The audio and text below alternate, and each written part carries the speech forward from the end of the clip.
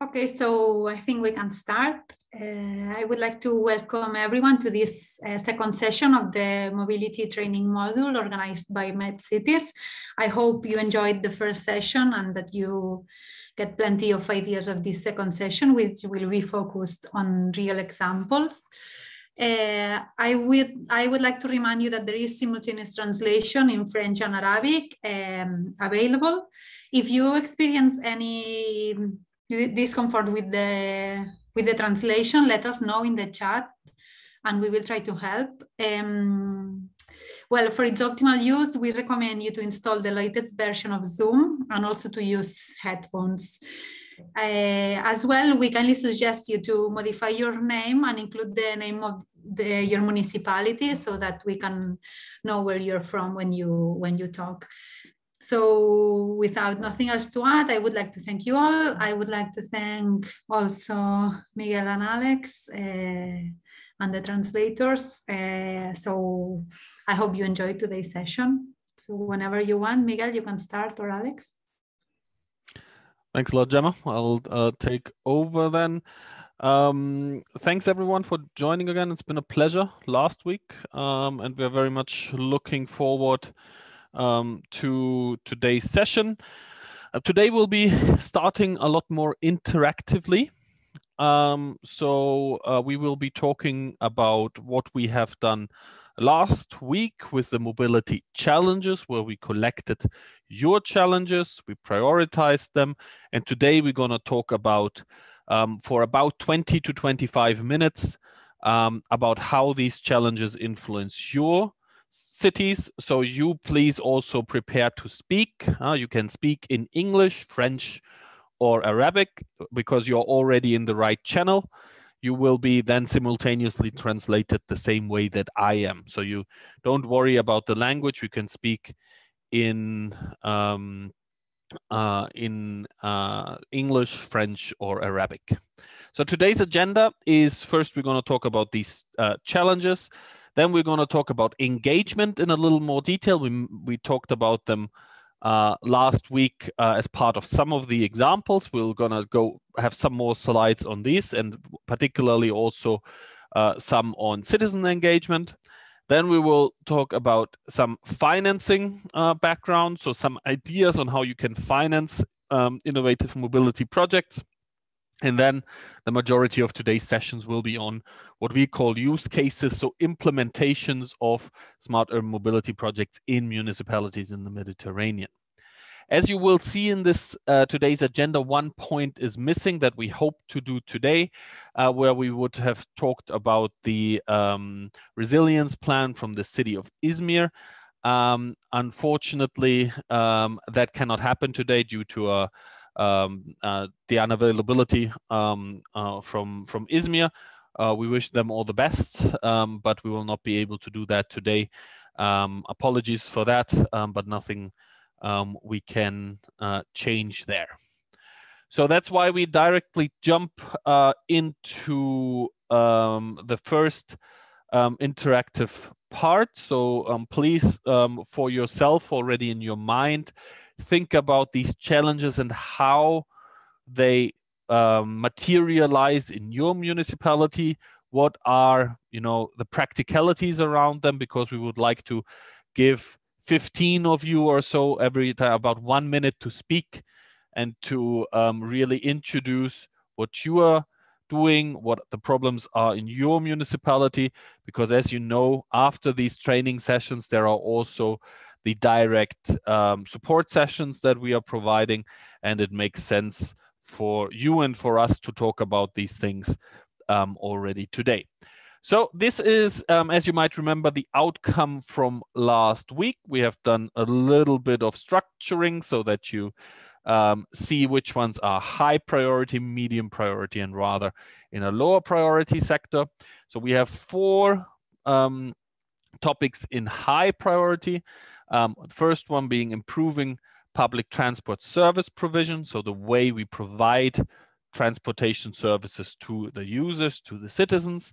The second one, to avoid negative health and safety and environmental impacts of urban mobility. The third one, encouraging soft mobility in very hilly and high slope environments. And the fourth one, um, um, shifting um, the mode of uh, transport into the direction of soft transport, so a transition challenging from going um, from going to uh, towards soft modes of transport. So um, that is the ones that were named as high priority uh, last uh, time. Um, so I would maybe ask the first five of you um, to already comment on this. How does this look in your city? Which ones um, are particularly important for you and how do they look like really? So just comment on how this really influenced your work or your city. Um, and for that, in order for us to be able to um, to bring you or to give you the right to speak as well, please just raise your hand.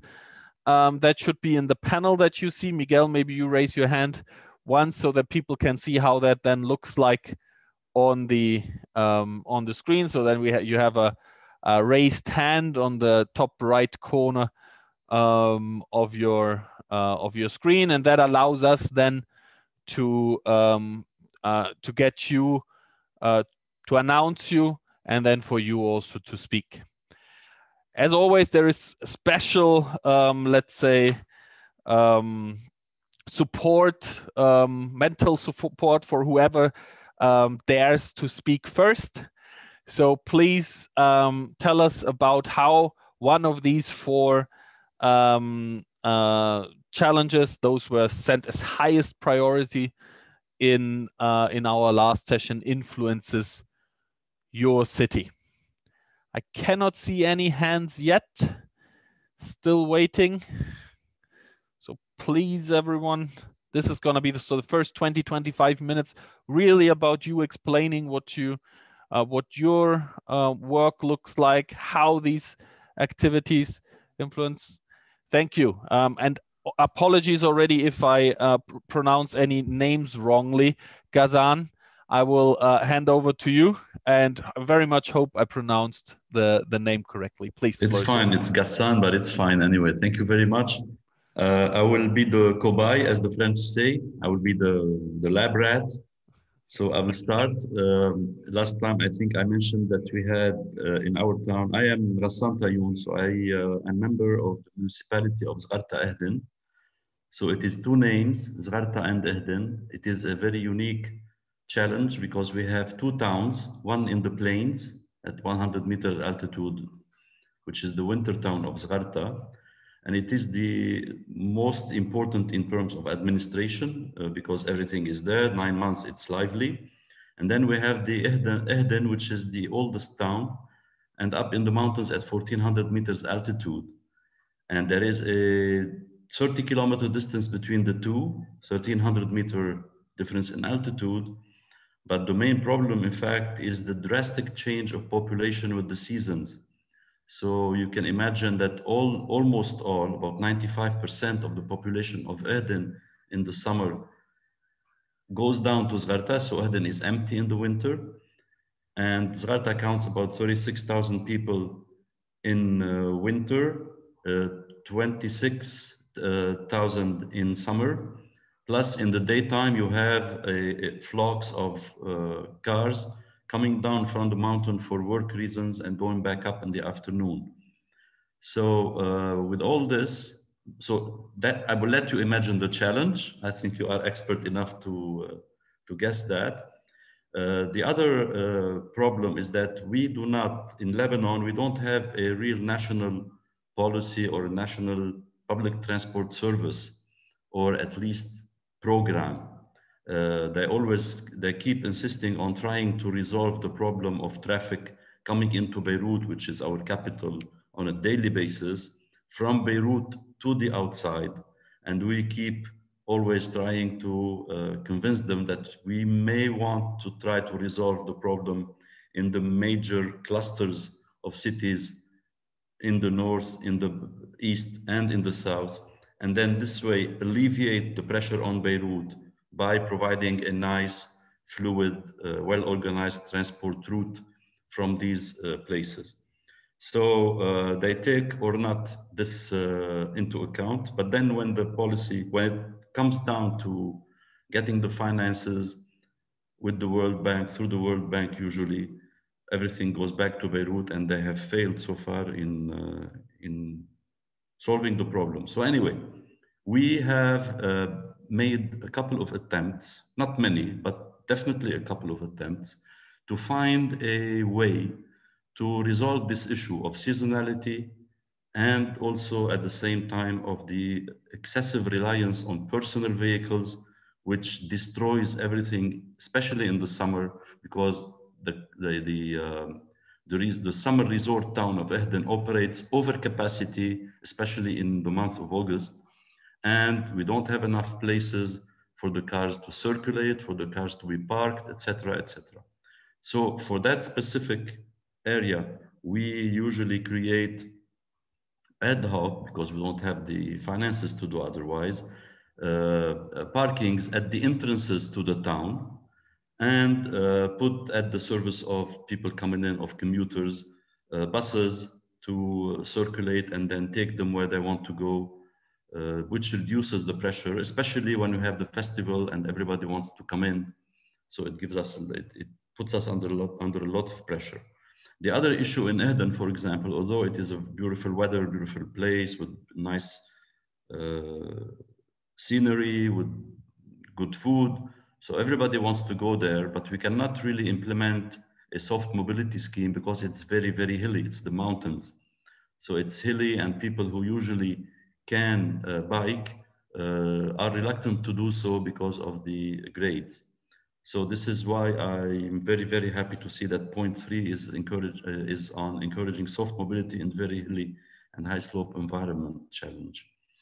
So um, anyway, each one of these four points are uh, quite important in our case anyway, and especially uh, two and three for the summer town. So if you wish, uh, later on, we could maybe uh, share uh, the uh, the ideas, the concepts that we try to put in place, which are inclusive of the taxi of the people who operate taxis between the two towns, because they are very very aggressive when it comes to accepting buses, which are kind of a, a huge uh, competition to them because their livelihood, in fact, depends on that route. So we, we proposed at some point to uh, renovate the whole private taxi park and uh, like finance that move, that transition, and at the same time link all the taxis into a single plan of providing mobility for everyone.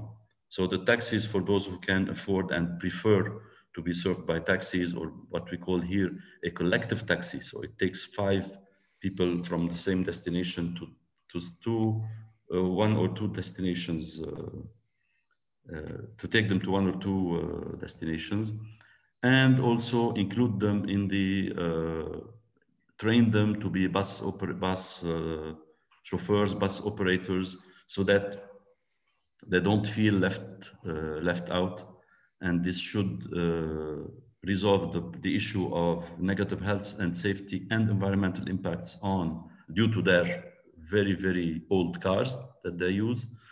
Plus, it uh, resolves the issue of social problems when it comes to excluding these people whose livelihood depends on the taxi of commute on the private commuting. So very interesting. Uh, also, that's that's uh, yeah, you have a very very special case. Yeah. Uh, um, uh, for this, I'm um, just you know to give um uh, some some comments on this is uh, like what what happens a lot on a very small scale when it comes to uh, you know cities that are one city not like the two places you have is like you you think about in transport planning about the local um, um, uh, traveling. So the ones you do in like let's say uh, two kilometer radius which you can then transfer into soft mobility uh, walking, cycling, and then there is the part in your um, special case, 36 kilometers, I think you said, um, between the ranges that you know you never walk um, or or cycle, especially not if it's hilly. So that's that's a, a, very interesting part of you know you have the area connections in both towns, and then you have the point-to-point -point connection in between them, which are two different two issues to be tackled partly separately, but then also to be integrated again. So the way we see this a lot in uh, in many places across the world is actually that the point-to-point -point connection would be either a train or a a large scale bus service or you know a publicly organized kind of thing. And then the um, the mobility within the areas for the area mobility is rather um, then try to be integrated in a soft way so where people can walk everything. But you're you're having a great set of um, trials there already. I specifically love the way to integrate the private uh, sector taxis uh, in, into this system. It's always you know transition can be painful or it can be done with with the actual stakeholders that are currently providing it. So great initiative there. And we hope to be able to talk about this in more detail throughout the next sessions and hopefully in afterwards too. Thanks a lot, Ghassan, um, uh, for, for your first race. And we wouldn't call you a lap rat. I would rather call you um, the um, the daring first one uh, to go for it. Um, I hope really we have maybe one or two more um, for this set of challenges with similarly um, or also um, uh, other kind of examples. You don't ha already have to have solutions. Talk about how it looks in your um, uh, city. What are the specificities? Um, please raise your hand. Uh, would really like to have two more, one to two more for this part, and then we will do it twice more um, for the medium and low priority ones. So do we have more people remember you can speak in English, French, and Arabic. You don't have to worry about the translation. Um, that's what we have our great colleagues from the simultaneous translation service here for. So let's see if we find another daring, another um, one like Ghassan to um, show your story about your municipality, please.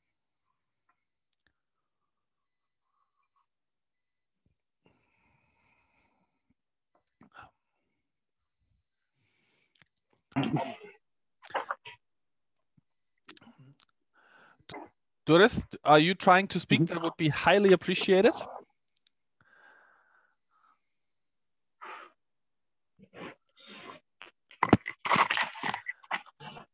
Durrës from Elton? Durrës from Elton? Elton from Durrës. Elton from Durrës, yeah, that makes more sense. Elton from Durrës, can you? Are you? Yep. Yes. No. Hello, everyone. Hello, very I'd good. like to speak about Durrës. Uh, we are a seaside uh, city, an urban area with around 10 or 15% of hills, mm, around 200,000 uh, people, habitants. And um, we have some issues about the mobility in general, but uh, getting around your points to the point number one, the improving public transport service provision.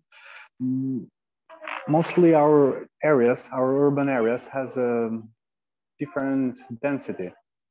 So our five lines of public transport um, consist in a low demand generally, and um, we don't have an integrated um, public transport system about our main station. Uh, around the second point, mm, our only national national law has uh, imposed a ban on the imports of vehicles that are under a Euro 3 engine. Mm, for the rest, we don't have uh, mm, initiatives about uh, uh, lowering the environment, the impacts of, of, mobility. Around the number three, the soft mobility, um, we have the main issues with the sidewalks. They are not in a system. They are not in integrated infrastructure with uh, all the details about uh, old persons or wheelchairs. They are not standard and uniform. So I cannot ex accept, uh, expect immediately to have a transition to the um, soft mobility like um, electric uh, electric bicycle or something else before uh, having an integrated um, sidewalk infrastructure. And the Swift uh, mode of transport, um, the quality of urban areas, at least at the center city, has having an improved. Our new projects are trying to give the priority to the uh, to the walk uh, to the pedants uh, for the persons to walk. So we have increased the size of the walking side to try to push a little bit over to the people to leave the car and have a walk instead. I don't know if you understood me or am I clear? I'll get better speaking on in public with the next sections, but uh, this is my first introduction. No, very good. Um, and thanks a lot for, for that. Very clear. Um, I remember um, uh, from worked in Tirana a few years uh, back. In general, you know, the information that are available in the sense of planning. So what is already there, what is not in Albania, you know, can improve, and that I think is a good starting point for um, if you if you want to improve any kind of infrastructure, having a status available um, is is an important uh, element that you mentioned. Um, I'm not aware of the the kind of public transport lines that you have. Is it bus or is it train? Um, Elton, uh, maybe you can just answer that one. Um, uh, no, only bus. Only, only bus. bus yeah. After yeah, we yeah. don't have a train station better, a functional train station.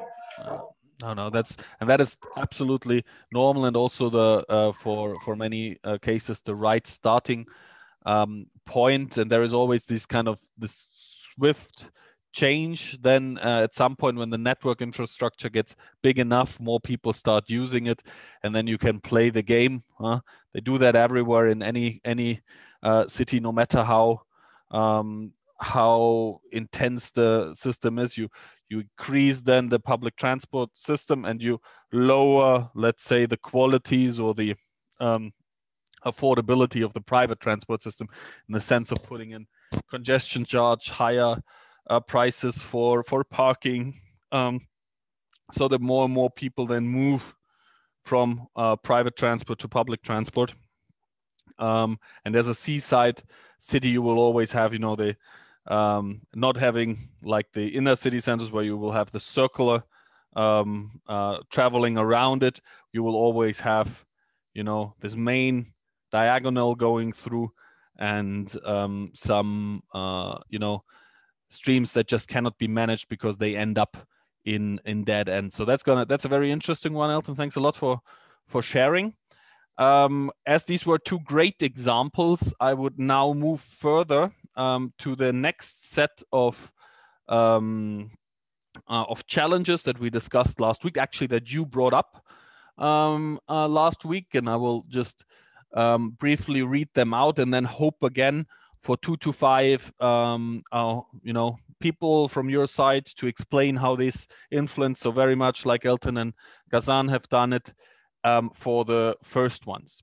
So um, um, the first one in the medium priority list is involve citizens in the mobility uh, issues. We're going to talk about that also later today. Then the second one um, are that there are small streets in your municipalities and of course the lack of parking available.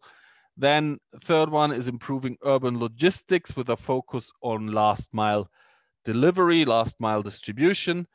The first, the fourth one is a shift to active modes of transport. The fifth one, providing safe mobility for women, so a specific subgroup of the population.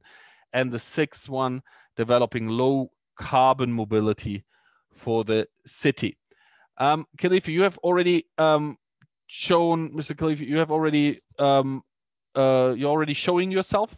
Do you want to speak? Can you, do you, do you maybe want to um, talk about um, how it is in your city?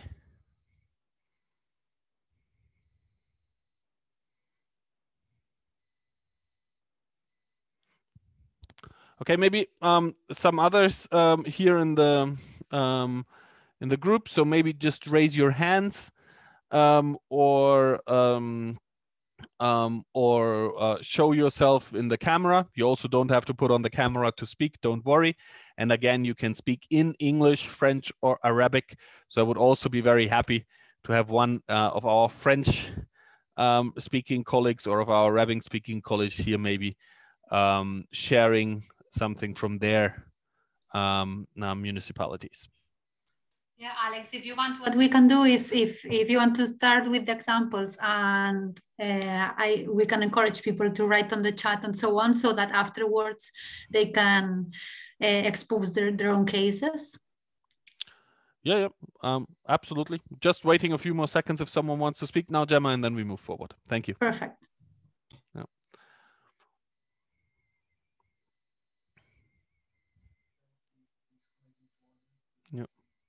And now disconnecting again. No. Okay, so if no one wants to share at the moment, that's not a problem.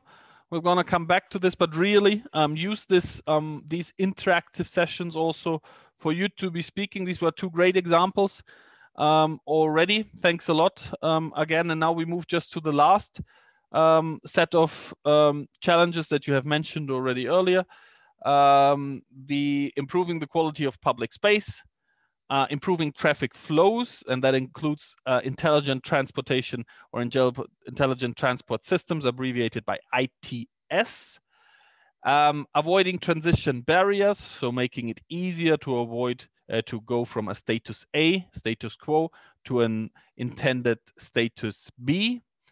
And then the fourth one, reducing the usage of cars. So these were all the kind of challenges that you put in the matrix in our um, activity last week. And this is also how we're gonna move forward and from next week onwards when it comes to going further. So um, if we don't have any um, people who want to share now about their uh, own municipalities uh, status, there are two topics that we have already touched upon last week, but that we want to go into a little more detail.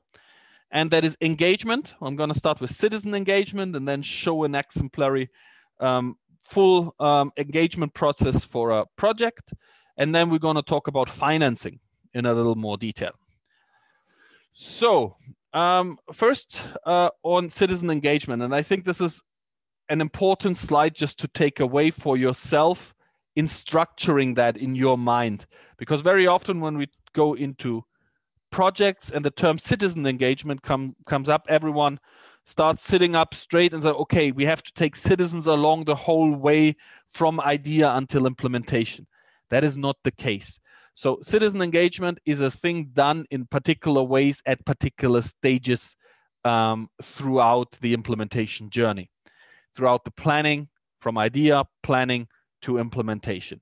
So please keep those three distinct types of a citizen engagement in your mind as one of the main slides you take away from today.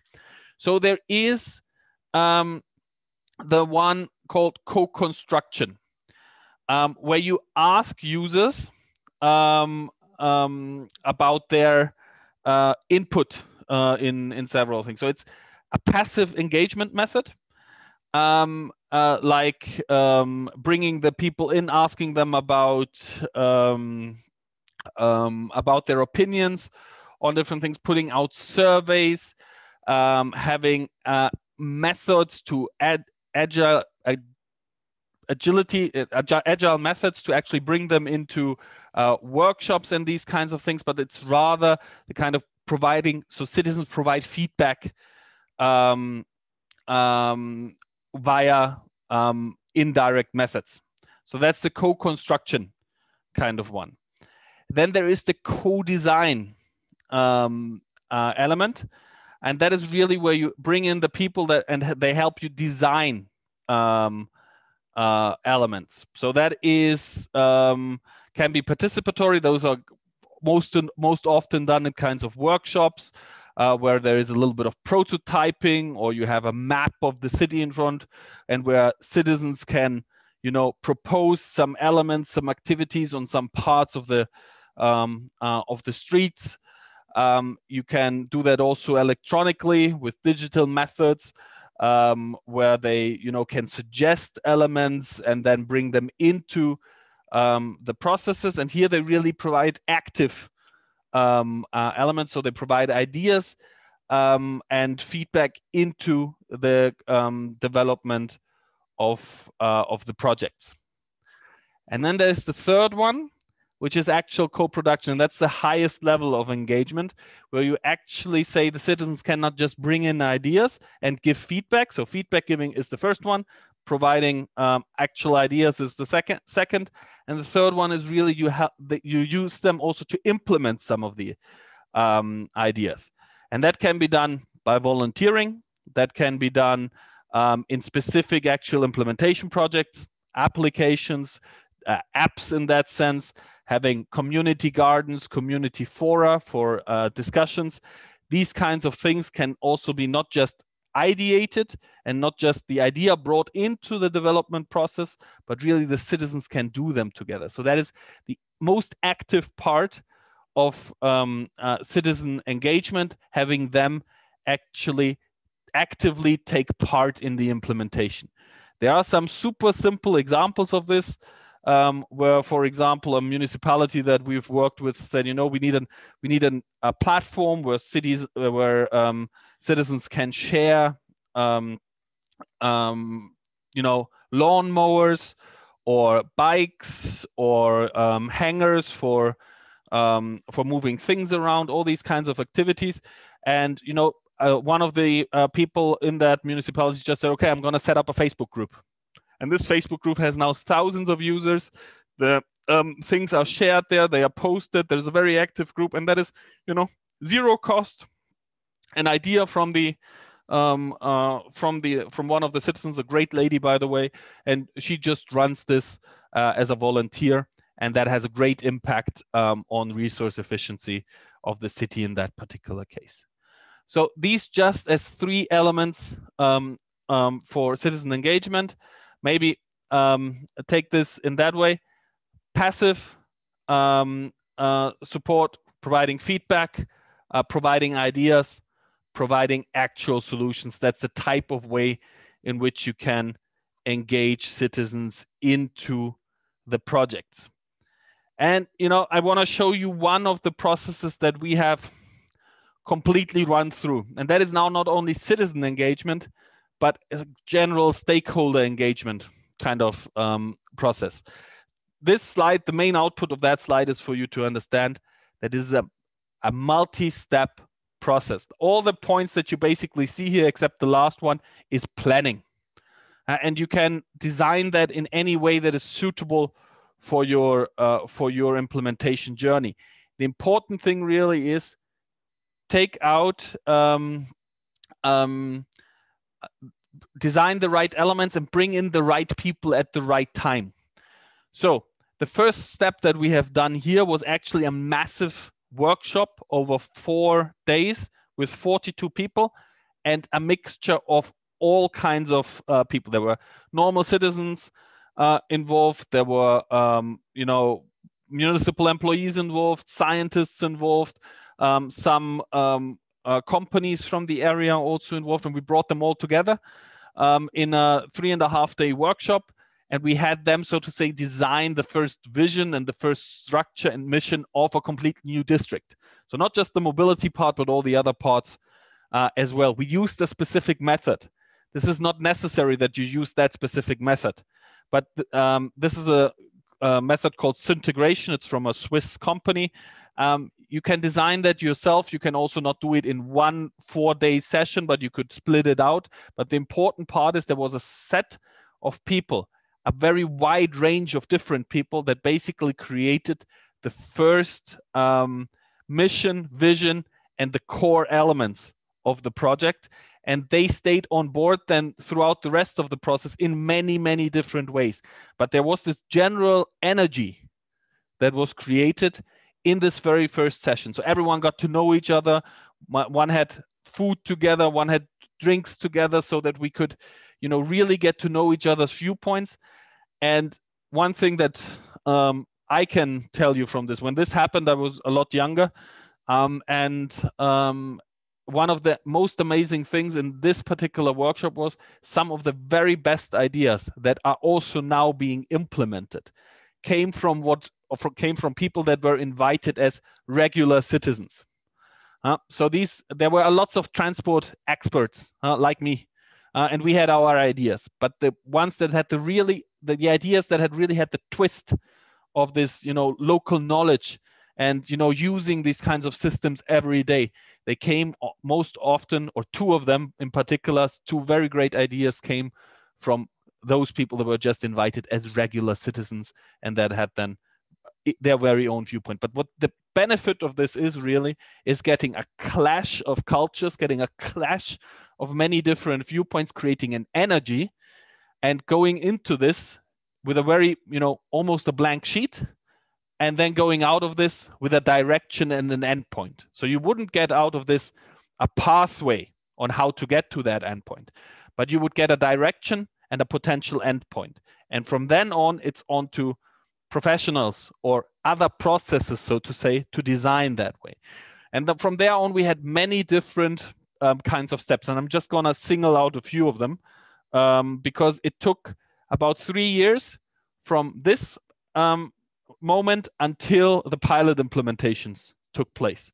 So this has also been a very thorough and a very long process uh, in that. So for example, we had a another one, summer school. It's one of my favorites, um, where we basically then so let's particularly get some more young people, some students' ideas in that one, and we organized a summer school, a week-long uh, summer school where students from many different countries and from many different backgrounds basically were put together.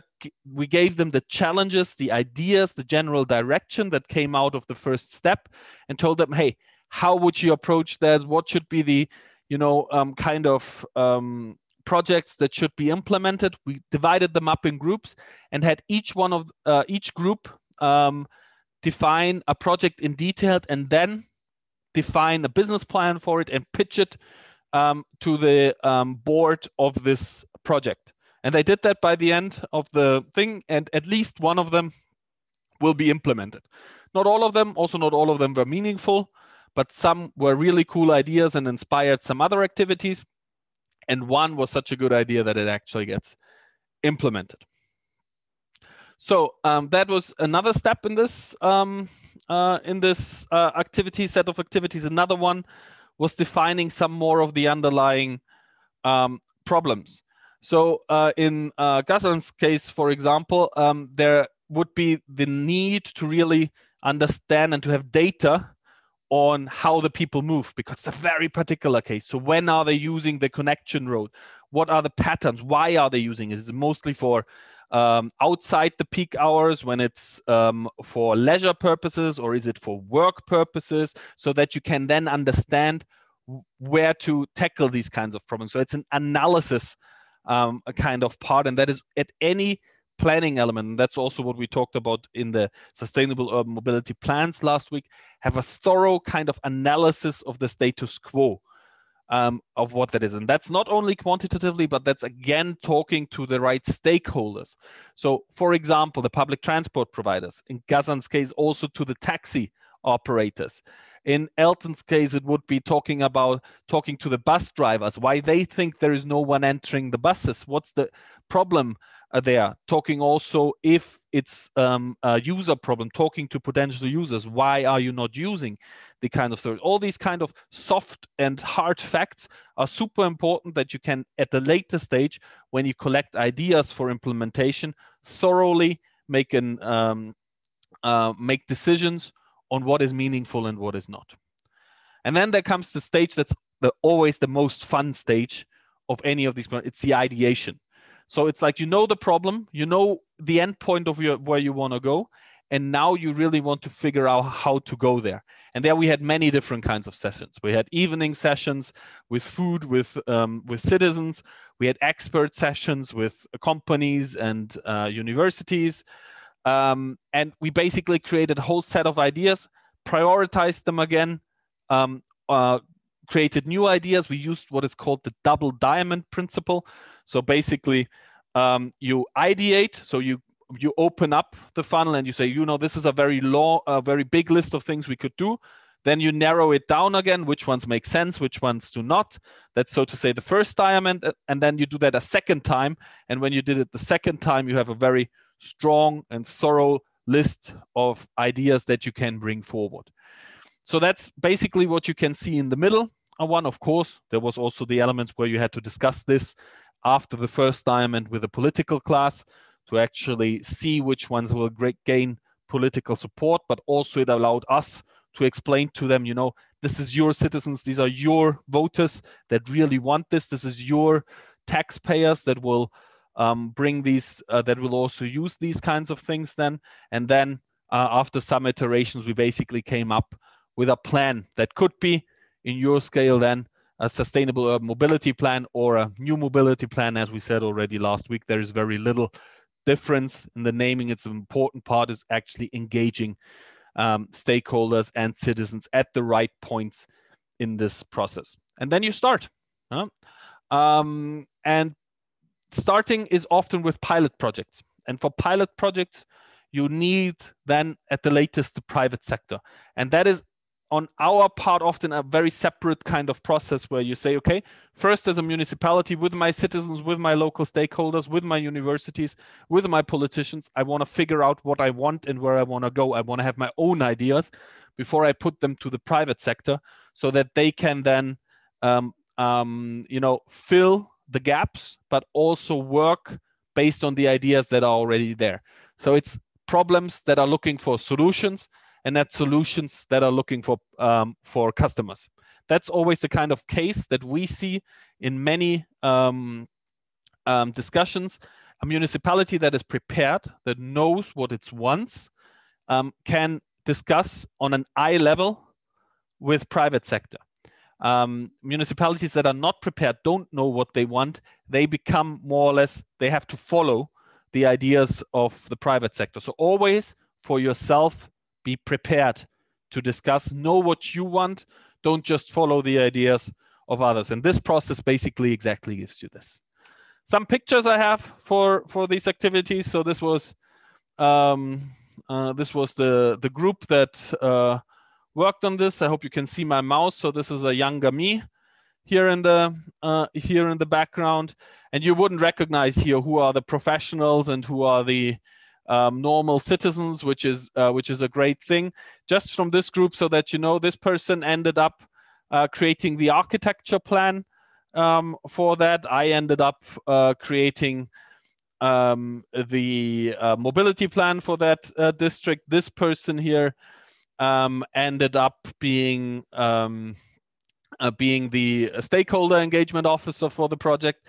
This lovely lady is the person that is now operating the uh, Facebook group that I was just talking about um, uh, earlier. And there is this um, person whose company um, will, um, let's say, um, build up, uh, I think, 30% um, uh, of, of that area. Oh, now it jumped.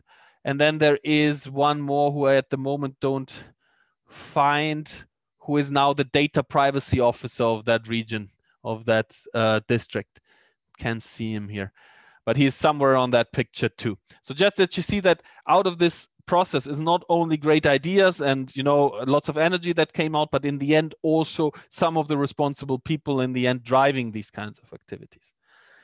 You know, and what we did, you know, when you collect ideas, you very often have, and that's you know, so the the start of one of the the first double diamond. So when you collect all the ideas, and it's really just about getting people to contribute. And then you have 400, we had in, on a board 400 statements of importance. So these are things that people thought were important for them in this district. And then from there, you can start working.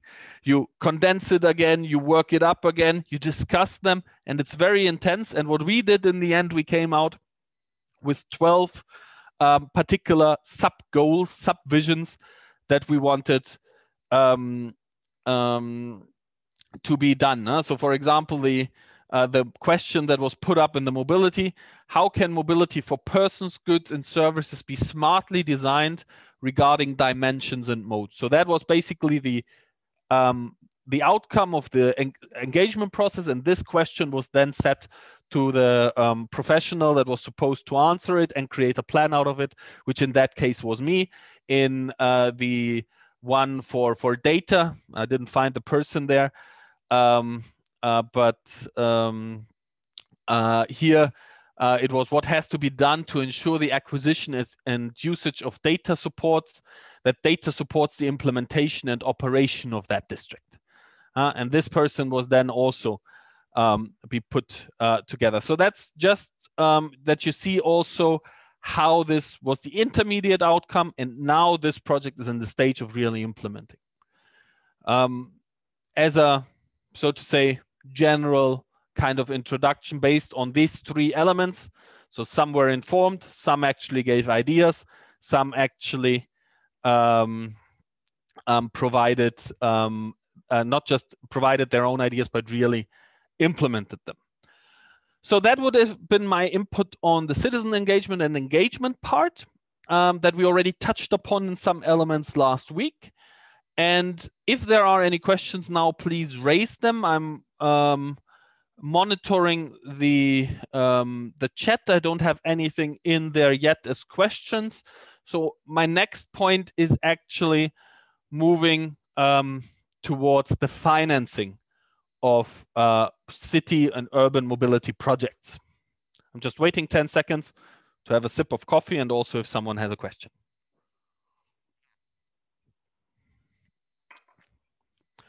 Okay, then we uh, move on.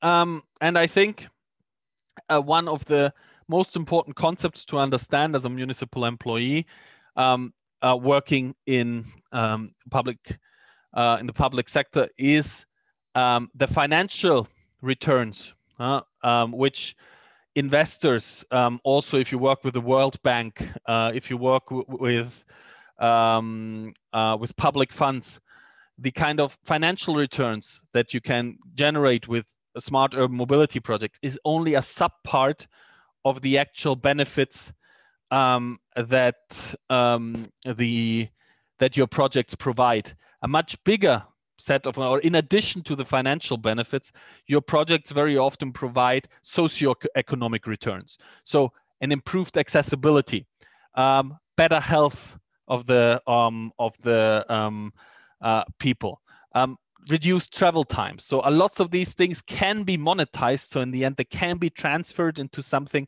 that you can say is worth a euro or more but um, very often it's uh, it's just another set of additional um, benefits. And then there is the more diffused much more complicated benefits that you know if they are um, um you know one of these things that we say here for example data availability lots of public transport agencies provide data availability um, in the uh, with their operations. Um, and these kind of uh, activities, these data do not provide a direct financial return, and they often also do not provide a direct socioeconomic or eh, um, or other return. But they provide more transparency into into the operation. They provide um, more informed citizens and potentially schools use these kind of data for training purposes and these kinds of things so there's a whole set of diffused benefits that will often be in the discussions when you talk about implementing a project, but they are super hard to be monetized.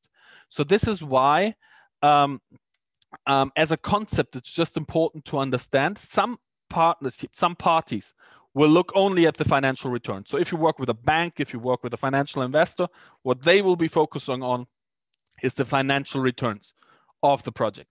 Then there are those um, that will be looking into the socio socioeconomic uh, returns, politi politics, um, arm length companies of um, of public agency, also a public um, uh, providers of public funds. So if you if you aim for World Bank uh, or European Investment Bank or Horizon funds or similar, there will be an element of what's the socioeconomic benefit of what you are doing. And then there is the wider, more diffused benefits, which you see might happen, which are super important, which provide um, in the end a long-term benefit to your city, but which are hard to grasp and hard to communicate. But in general, what your projects will have is all three of such element. Important thing is that you understand that they are there and that you communicate them. So um, that is, um, so to say, the general underlying principle of these things. And then when we come to actually how do we invest in these things, we have different elements. So the first um, kind of money that's available to you is always your own municipal budget. And no matter how good public funds from somewhere else might be, or whoever else provides you money, it's always highly beneficial to have it. Not um, because you know um, it's uh, it's crucial for the actual amount in there because if you put in money, you also get then a say in how things shape at the end.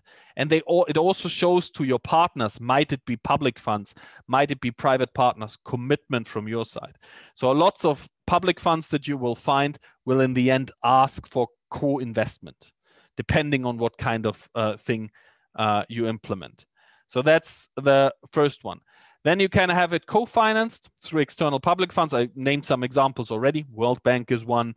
Uh, Horizon uh, Europe is one. For those of you that are part of the union, you have the um, structural funds, the ERDF funds, which are massively important for uh, putting up um, uh, infrastructure in uh, in any country in uh, Europe. And then, oh, that's got a little delay. So um, the next level then is uh, public and private partnerships. And that can look we could spend three days only talking about public and private partnerships. Um, basically what you take away from this one slide from my side is everything is possible that's legal. So if you can imagine it there's most often a way to do it. I've seen a lots of employees say we have never done this before. So they're they're the kind of um, you know we're afraid of touching these kinds of things. Um, don't. There is a lots and a lots of value in these kind of activities. So I do one example, um, but it might not help because it's just one random one. So a whole district that I, I know about, including the mobility ecosystem, was financed 50-50 by the municipality and by a private developer. That provided everything that was needed to get this project off the ground and has now a development plan for the next 30 years. They are working hand in hand. They own a special purpose vehicle, so a specific company that was set up only to develop this area 50 50. They also created under this company another company that was specifically only there to operate the mobility system in that district. So these kinds of activities, they can look in many different ways. You will um, you will see um, you can read books, and as I said, we can speak days only talking about public-private partnerships. But basically, in this way, everything is possible. And then you shouldn't forget that as mobility, um, um, as professionals in the mobility sector, there are things that we don't have to do. There are private companies that do this. We have talked last week about, you know, um, free-floating car sharing mechanisms that are not uh, really so we don't pay for them. Uh, we don't operate them. That's done by private sector. The same with electric scooters. So it can be done that way. What you might want to do then, or it can be financed by them. What you most often want to do them as a municipality is influence them, work with them, um, influence them in the sense of how they operate. And for that, you need the legal basis or you need a share in the end in the activity, which brings you back to the kind of public private partnership activity. Um, oh, now it's jumping. Um, a little bit. So when you're financing um, uh, urban mobility uh, project, what you need to know and what you need to look into as a decision maker in, in a city is the different sources of capital. There are many different ones um, available. Loans, grants from many different kinds of institution. You want to look at the number of parties that are involved. Is it simple? Then you can uh, um, then you can use um, bigger um, uh, funds easier. Then you want to look into how easy it is to secure that kind of financing. So there are public funds where there is a success rate of 60%, and then there are public funds where there is a success rate of 3%. So you might want to have a look into this as well. Um, then you want to look into the duration of financing. So especially for the long-term ones, infrastructure-based one, you'll find a lots of different types of financing. For the short term, small ones that need barely any infrastructure but are rather software based, it's harder to find um, uh, financing. You want to have a look at the risk for the investor. So, what's the risk that the whole money gets lost in this kinds of things? Are you the investor or is it someone else? Um, who? Uh, what's the risk for the borrower? Uh, so, for the entity that borrows um, the money, uh, what's their operational risk? Can you reduce that risk, for example, by providing a minimum number of users, providing supporting services to reduce this kind of risk? Then taxes is an issue. There, I don't want to speak much about it because I also always use experts um, for these kinds of things, especially if you have these arm length companies and these kinds of things. And then, and this is most important, this is why I put it up, think about if you have to repay it, how you will repay that money. Um, I've worked with many development banks over the years, and they provide money as loans in many countries. The KfW, the German one, um, does that a lot. And the municipal employees in the city always forget to think about, you know, if we invest this money now, how do you pay it back with interest? So don't forget about this whenever you take loans, that this is actually something, a loan you have to pay back. And that's um, uh, important. So I now just want to go for three, four minutes over some examples. We don't have the time to go in detail because as today is mostly about examples, um, about some elements of what you can do uh, and what we might not have thought of when it comes to um, uh, financing mobility projects. So one is you can uh, issue bonds, uh, either green bonds or social impact um, bonds that are basically debts provided by um, uh, the city um, for the municipality um, to um, to go uh, to invest in mid and long term projects. Um, these kind of payments can be dependent on social uh, outcomes. So the whoever invests in them doesn't have to have a fixed return rate, but they could also have um, a return rate that's dependent on the outcomes. Then you can have something like usage fees. Um, if you, for example, improve the waste collection service or the public transport uh, service, that you can increase the fee for those that are re receiving um, these kinds of um, uh, activities.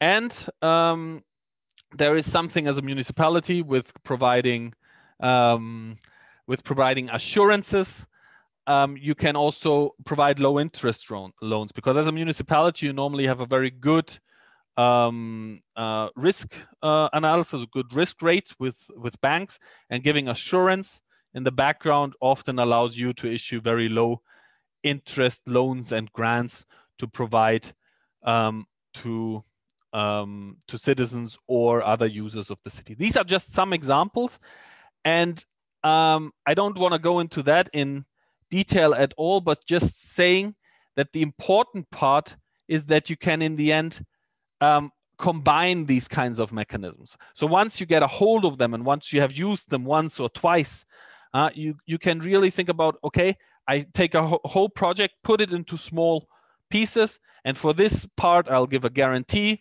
For this uh, part, I'll take a grant. For this part, I'll take debt myself for this part, I'll do a, a joint um, uh, a joint venture with a private entity. So that's just from my side a very brief introduction again into what um, uh, financial engineering you can do with urban mobility projects. Just as a little bit of more specification, what we touched already last time. You will receive all the slides afterwards, so you can have a look into more detail into what we have shown. And at any case, I'm always happy to answer questions. And uh, now I will hand over to Miguel, who will show you some of the um, public funding available on the European level at the moment, and then really go into many of the examples we brought for you for urban mobility projects, our use cases in that part. Please, Miguel. Thank you, Alex. Um, so as con continuing what Alex was mentioning, just quickly overview of some of the European uh, funding that might be and should be interesting for you to look at.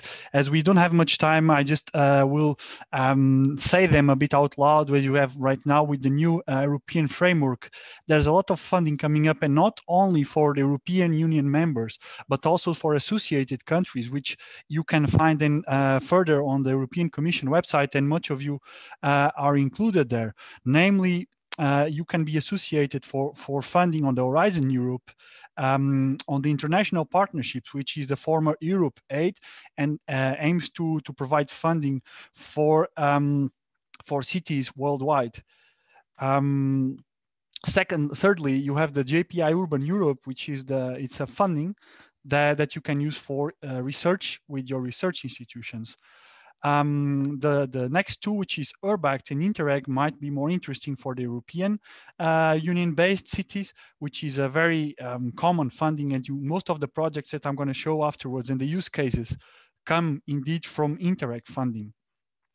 And last but not least, because there are many, many more, it's one that is mentioned, it was mentioned last session, which is the, in the European Investment Bank, you can find uh, a lot of interesting, not only loan mechanisms, but also uh, mechanisms for funding your solutions when it comes to greening your cities. The many more because there are indeed many more but we will now pass to the exact use cases.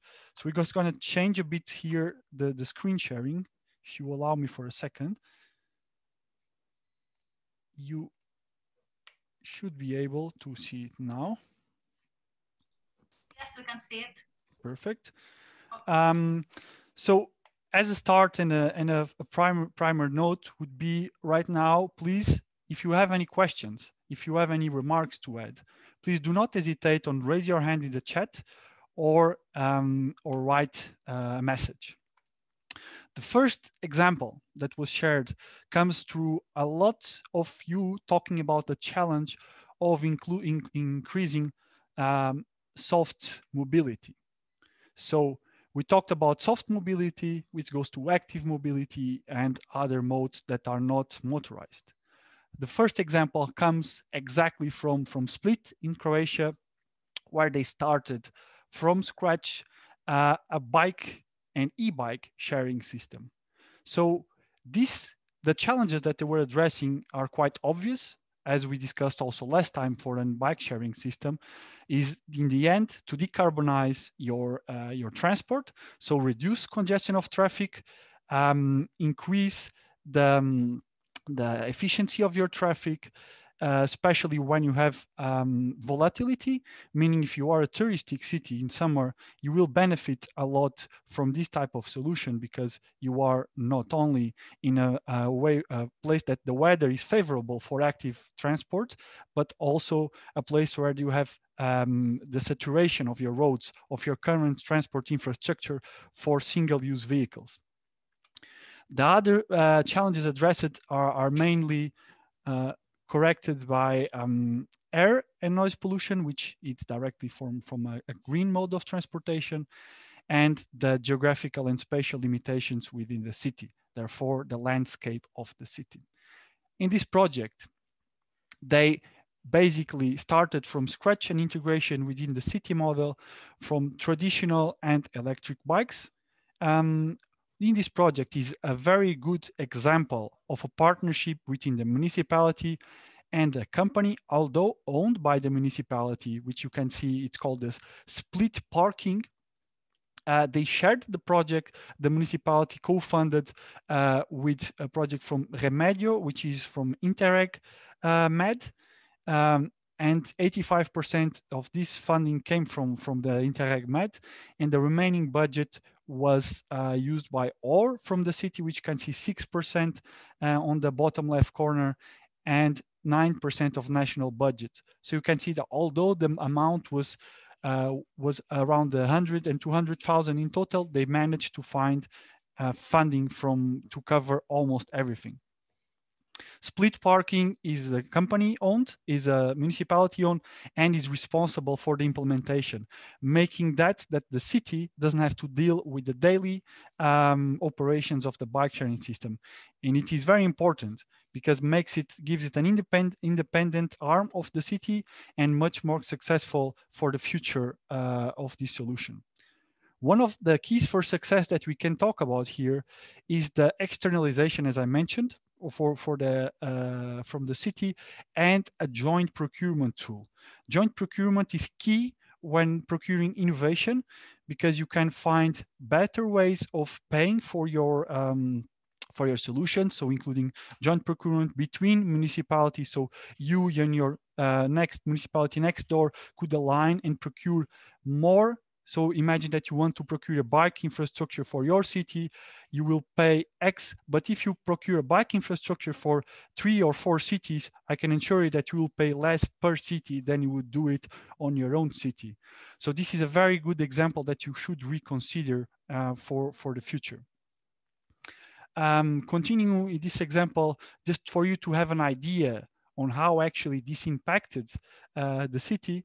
So they started with a few bike stations and over the years, there has been such a growing interest that they implemented uh, 56 more, not only in the city of Split, but also in the surrounding cities, making this a large scale project and benefit a multi-city benefit project as well.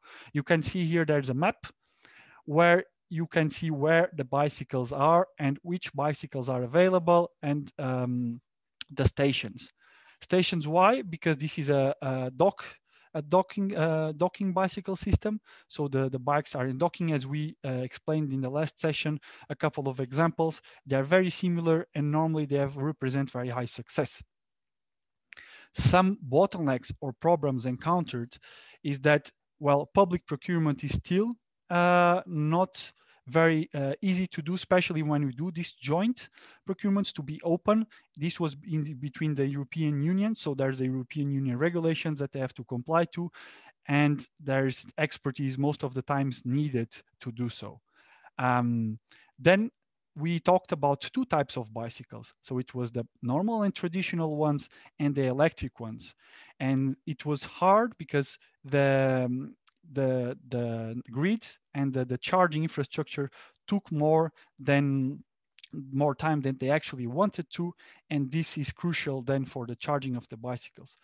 Important here to note that most of you talked about hills and in your city, um, you it's it's sometimes there it's challenging with high temperatures that people use shared bicycles because the because the they will sweat right? So you get very warm while using your bicycle and you don't want to go to work with the bicycle if you arrive there and you have a meeting uh, with your with your colleagues and you are completely wet.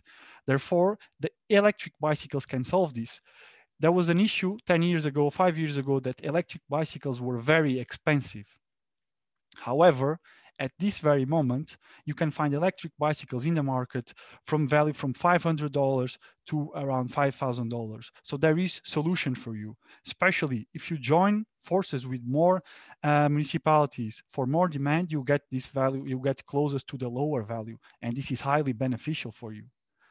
Um, do you think at this very moment, this example, I think it's, it's very important to see how to start from zero and then try the first time people liked it so much that they have to improve and now they reached almost 100 stations of bikes in their city so it's it's a successful long-term implementation um, do you think and now I, I point back to you do you think that this it would be feasible in your city with the values that were here shown before. So we are talking about between 100,000 and 200,000 euros uh, for implementing this type of solution in your city.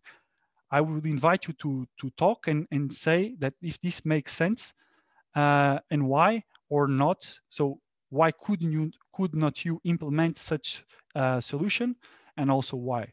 So that we can um, understand better how to tackle your issues on, on this problem. If you want to, to talk, please uh, raise your hand or write in the chat or just feel free to, to turn on your microphone if no one else uh, is speaking. I will give you um, five to 10 seconds. If no one um, wishes to make any question, I'll pass on to the next example. Uh, sorry, I can uh, speak? Yes. I'm uh, uh, Engineer Leila from Greater Irbid Municipality. Well, I, I think this is a great idea if we can uh, implement this, uh, this uh, idea in our uh, city and uh, the municipality uh, can contribute to to this some some project like this and encourage the use of a bicycle. Um, but there is a different point related to this subject firstly that the, the society can accept to start to use a bicycle because in our city we don't see people using a bicycle. Uh, for this, for example, we have a STAR, our um, project uh, as traffic awareness and transportation committee at the municipality to change, uh, to try to change um, the narrative about the or the behavior about the mobility and between uh, uh, issue related to mobility is the use of bicycle in a city. And uh, the second point is uh, if we want to adapt this uh, project, this kind of project, the municipality, how we will finance this, uh, financing this project, um, and how, um, because it's very important, the subject of financing a project of the, at the level of the municipality, where the budget of the municipality cannot be, um, it's not enough to, to use it for this kind of project. So uh, we have two elements. Firstly, we would like to use, I think it's important to adapt this kind of a project, but still how to, uh, to work to develop this idea at the level of society and uh, adapt it correctly at the level of the municipality. Thank you. Uh, and, and, thank you very much for your points. Um, I, I, will, I will start to reply first for, if, if I may, to the one that you, you talked about the general awareness of uh, how actually citizens see the, the bike usage as a, as a positive thing and they actually tend to use it. Um, going a bit back, as Alexander was mentioning before, we can start with focus groups. So see with the people, why aren't they keen on using the bicycle and what could we do to make it better? Some examples, and I'm going to explain some a bit further, are to choose a target um, stakeholder that you can engage and easily integrate in your system. Normally, students are actually one of the most successful first piloted targets of these solutions, because if you give them some uh, benefits, meaning if you give them the usage of such service in the beginning for free, they'll start to do it and they will start to move some masses. And normally they are more keen in experimenting new solutions rather than other types of stakeholders in society. Uh, for the second point, and I, I, truly agree with you when you say that financing is highly challenging. There are two sides uh, that we can understand this. The first one is, would be to, so as this case, this was financed by European Union project. So they, they got a lot of money to implement this pilot action and then to develop it further. After a couple of years, these type of projects are, mentioned, are, are meant to be uh, to be um, financially stable so that they actually can pay for themselves. Um, of course, in the beginning, this won't happen. So this led, leads to the second point, which could be the, the type of loans that the, the World Bank or the European Bank can, can, can give to you. And that you can externalize, as they did here, the service to a company, even public owned, that would make the revenue of this. And after, let's say, five to 10 years, the service can start paying for itself. And it's indeed, let's say, a, a business for itself and not something that the city is just doing for the well-being. So let's say that creating a business model around it. I hope I uh, answered your questions, but I also happy to, to discuss it further. Um, yes, thank you. Thank you. If anyone else has any points, uh, doesn't have any points, I would pass to the next example, which it's connected. However, it's an example on how to refurbish um, a bike sharing system that was not successfully implemented. So in the city of Igoumenitsa, I never can uh, pronounce this name properly, it is in Greece, um, at the city level, they had a very small bike sharing system. There was misuse, so it was, was something that was complex. So the user, it was not properly consulted when it, this was introduced, so that they could not they did not understand and they were not taking usage of the system. Result, it ended up mistreated, parts were missing, bikes were uh, trashed, just was a complete failure. However, it is possible to turn this into a success. The infrastructure was there, although small. So what they did was they, they applied, this was again within Interreg Mediterranean um, funding, they, they installed a third, uh, three uh, stations, so increasing the stations, when I mean stations, it's the dockings where the bikes will stay, um, and they increased the bikes from 10 to 30. You can see that this is a very, very small scale. However, it worked. So they improved the design, they made better communication, and they did user engagement. They talked with the people that used the bikes to understand why weren't they using it and what would make them use the bikes, which is crucial for something like this. Uh, and last but not least, something that was not predicted, predicted at the beginning is that the conditions of weather and being outside can also interfere with the quality of the bikes. So they have to provide safe environment for the bikes to stay overnight and not to be damaged due to weather conditions, theft, or any other type of corrosion.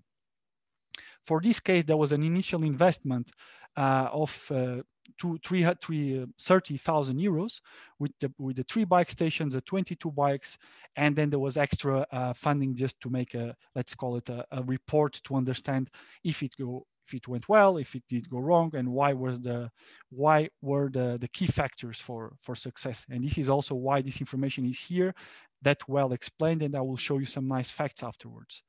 Um, the keys for success, as I mentioned, user engagement, um, get, get better accessibility to the people, make it more simple, that people can just plug and play, meaning that you can use it easily without having to, to fill uh, X amount of paper or that they have to, to, to subscribe to something that is so hard that then you just don't want to do it. Um, some key facts can come from the impact and results. So you can see here in the in July 2019, there was an average uh, rides per month of 25. If you can see my my um, my mouse, you see here the rides per month of July 2019, 25. This number was very, very low. You can see the average can come to about 30, 40 per month for 2019. And then for 2020, with the integration of the service, you can see that the rides in, increased and 1000%.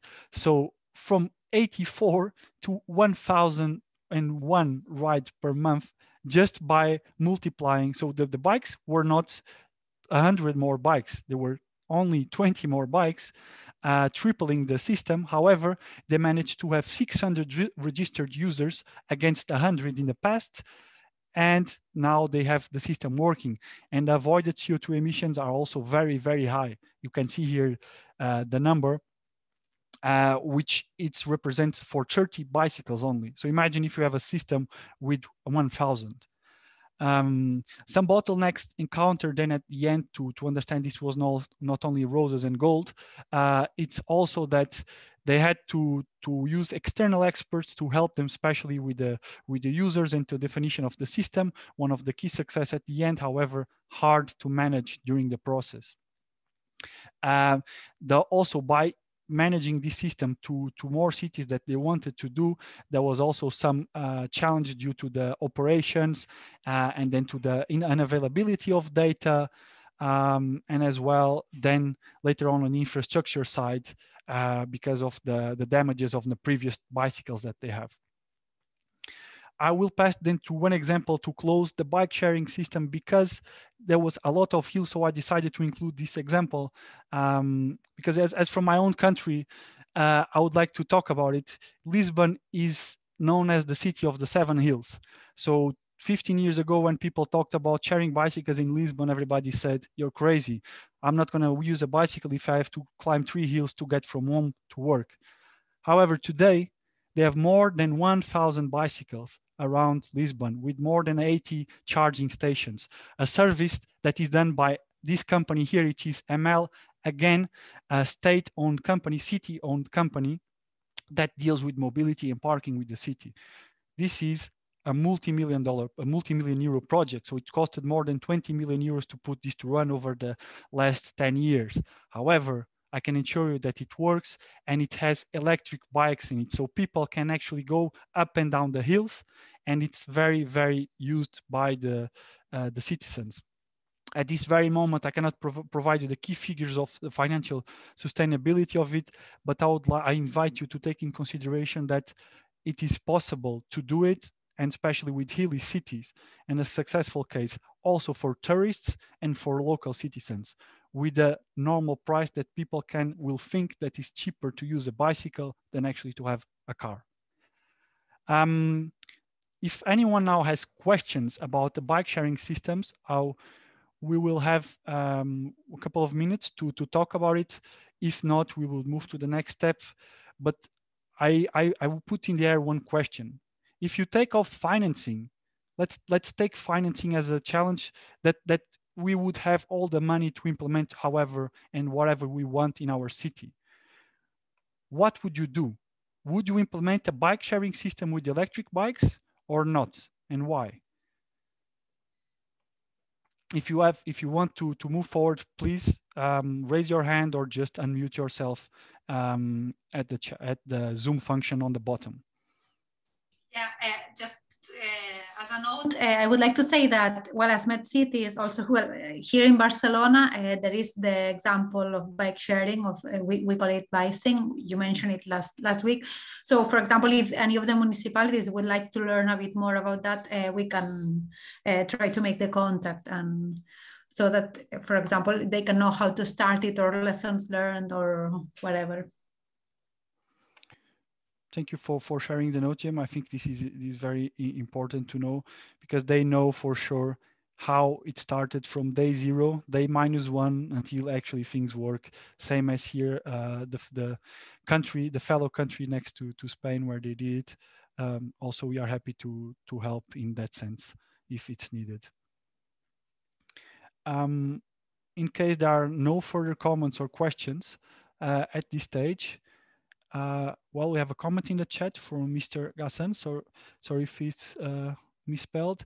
If financing is solved, I'm sure that we need that we and many other cities would go ahead, especially with hybrid traditionally bike systems. Uh, thank you for, for your input. And definitely that makes makes us, us think that it's not only other challenge that financing is the very heart uh, of most of, of, of your challenges these days and we, that we agree as well as not only Mediterranean cities, but also other cities um, have the same. And we encourage you to use this, the mechanism that we mentioned before uh, to try to finance your solutions. So not going alone, go with someone else that can help you in the long term. I'm gonna move now uh, to the next slide, which is about addresses the challenges of improving uh, public transport within your, your city. This is a, let's say, a half-hearted challenge, a half-hearted use case. From the one hand, it's a very nice and developed concept. From the other hand, it was not implemented at the end. And this is why I bring it here today.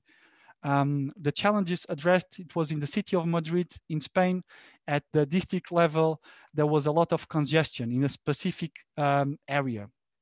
So what they decided to do was to create a bus corridor. So a, a corridor where buses would have uh, rapid transit and would be connected to, to other intermodal facilities so that people could use them and try to get for their last mile using a different type of transport, walking, cycling, or however you would prefer. This was a project with an investment, initial investment for almost half a million euros. However, financed from um, European from the eccentric project. The full project finance, the finance, the number that is mentioned here is not only for infrastructure. So it was for planning, monitoring, and all the other costs related to it. So when it comes to infrastructure, the, the, the, um, the amount should be around 70% of this value.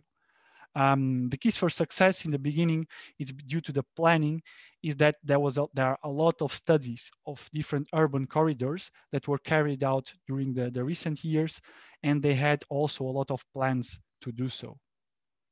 So the study, the most relevant um, constraints were technical or economical, but solutions were uh, were proposed, and uh, the final construction decision for construction was almost informed. However, and passing now to the next slide, um, this would uh, increase the, the speed of the bus by 10% and the regularity of the service by 9%, reaching um, much better numbers than before. Um, and then modal share would increase within, within the city, not only on this place itself by 4%, and emissions could reduce by 30% on the district. However, the city did not decide to, in, at the end, the, the project was not implemented due um, to, to the, the municipality not being aligned uh, with, with, uh, with itself. So mentioning that when you, you should plan this, this type of projects, you should not work in a silo mode. So because if you are working with not in um, in cooperation with the other departments from your municipality, um, this can can hinder your process and may cause uh, examples like this. And this is not what we want, right? Spending years in planning, having everything ready and get to the implementation phase with also with the funding, which lacks, as, I, as we could see from most of you, and then stop it. This is not um, a, a good practice on that sense, but it's a good practice on the planning. So it's, I'd say, an awareness use case for you to take into consideration the full life cycle of the process and do not figure it out on the road because it's very important to plan. Again, I invite everyone that has any questions, concerns to, to raise the voice uh, or comment it in the chat. Um, otherwise, I will happily move forward to our next case. So if there, uh, give it a couple of seconds, please also can write in the chat. Uh, there is one question. Uh, i believe it was from last session, but I missed, I didn't see it. Um, again, from Ghassan, Mr. Ghassan. Uh, the question, I'll read it out loud. Do you have any, uh, do you have experience with financing where shop owners become co-investors? Um, maybe uh, I, I myself, I do not have this particular experience, but maybe Alex can can can say something on this respect. Um, you can hear us, Alex. Yep. Yeah. Um, so um, personal experience when it comes to shop owners being co-invested into um, bike sharing systems, no. We have had um, uh, projects were um, you know large employers. They were they didn't have shops but they had manufacturing or um, service behind um, some of the stations they co-invested heavily. And that basically then also put stations in front of their buildings so that we have seen. Um, when it comes to shop owners we have seen co-investment into infrastructure that was not bike sharing but that was you know public information systems where they um, these are like these you know you might call them information hubs. So they're basically public screens that also provide advertisement and location services and these kinds of things. They would uh, they have co-invested in this. So i'm just because i'm saying i haven't experienced it myself i'm not saying this is not a, a valuable idea and a valid uh, concept but i haven't. So in the works that we have done um, this hasn't happened but it's definitely possible uh, I may add one one point to that, which is not about the bike sharing itself, but example that uh, shop owners would co-finance some actions, uh, depending also on the framework of the country. But it happened, for example, also in Portugal, that shop owners could co-finance with the local municipalities e-charging station. So if you you are looking to to put uh, electric uh, uh, charging stations for electric vehicles in parking spots, some of the shop owners that have parking spots, they will be interested, and most of the times can be interested in co-financing these electric uh, charging stations because it would benefit the city and themselves for their customers.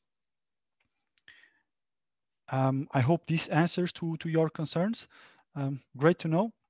So now we will uh, pass to the next slide, uh, which is an example again from Madrid, but it's more of an example of citizen engagement. Um, in this case, it was in another district level, there was um, some resistance. So some people that were uh, not that used, used to to work and to travel by public transportation meaning you're talking about normally the vulnerable groups when you talk about children teenagers um, elderly people and sometimes women that do not feel safe in such environments um, so the city of madrid uh, made this wonderful bottom-up uh, participative initiative where they so as alex mentioned before in this case um, they brought these people together put them into workshops, set them down, talked ideas, made actions or also informative actions. So they promote saying, okay, how is active mobility? How is public transport? How can this um, work? And very, very important. So they brought uh, people to act as campaign leaders. So in Alexander's example, you had someone volunteering to uh, have a Facebook group. And this is important in this case, people were campaign leaders, so they could campaign about this, um, this type of solutions. Why? Because they feel owners of the system. So feeling ownership, it's, it's key for people to use the solutions that you bring them uh, and then for further success of whatever implementation that, that you do. Um, this case was a rather expensive action because it took, um, took quite some time, but it was also funded by um, eccentric budget from from the European Commission. It's eccentric is the name of the project. Um, the project was basically uh, working with five schools and four elderly social clubs in the living lab of Vallecas. Um, and uh, there was an involvement of, of the city and, and some of other private companies.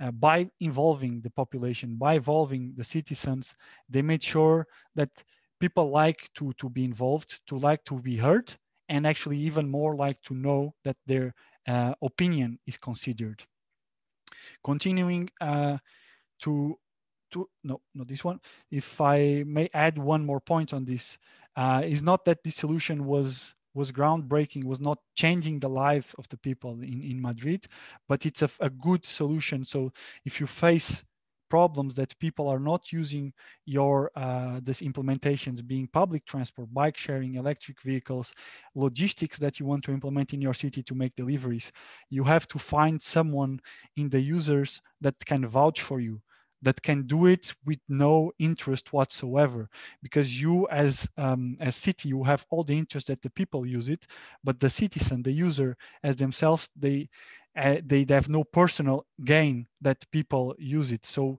other citizens will trust them, will trust in their experience.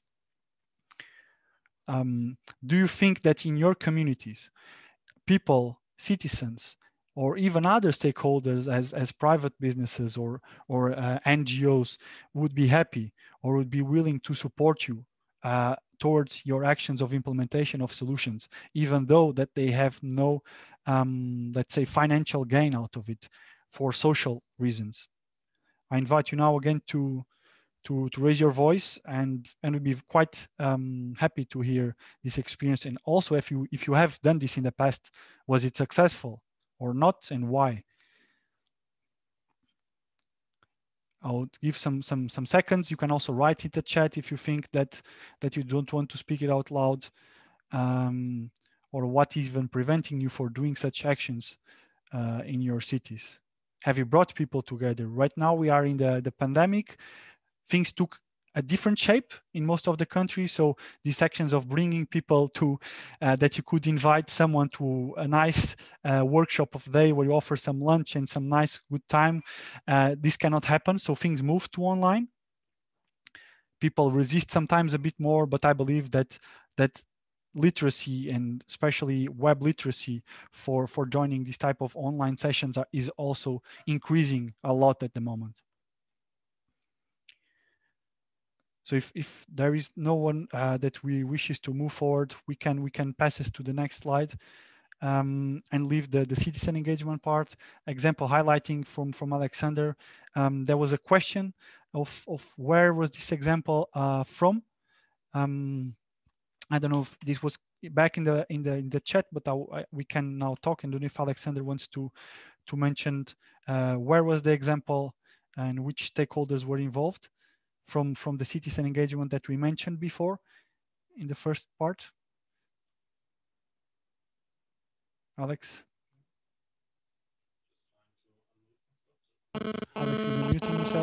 Yeah, no, I'm here. I'm just um, the. You mean the large example of the overall um, project that I um, um, put um, up with the multi with the multiple steps? Correct, correct. Yeah, no, that's the um, that one is from the Netherlands, from a South Dutch municipality called Helmond, ninety thousand inhabitants. Rather, you know, in, um, let's say, in comparison to many other um, cities there, um, uh, with a under average um, productivity and um, uh, social standard, um, without wanting to put that much further. So it's a it's a southern Dutch uh, city. Thank you very much, Alex, for, for example, that. And you have some problems with your voice, so I'll mute you. Um, I will continue to the next example from that must be known uh, here for, for Gemma and, and also from Laia from, from Barcelona, uh, which is quite simple but you mentioned some of you uh, in the in the beginning also Ghassan that were there were some taxi services that you're also trying to to increase efficiency. So um, in Barcelona, the the taxis it's it's as you know it's a very highly touristic city, so there's a lot of taxis going around back and forth.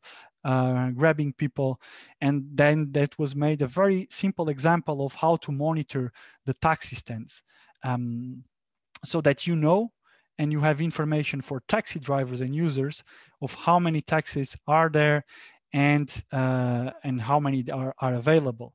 So this is a very simple action to you know the to change the old method or calling to a number of taxi radio or taxi provider and asking who is available or not is moving this to the next step of the platform um, of the IoT.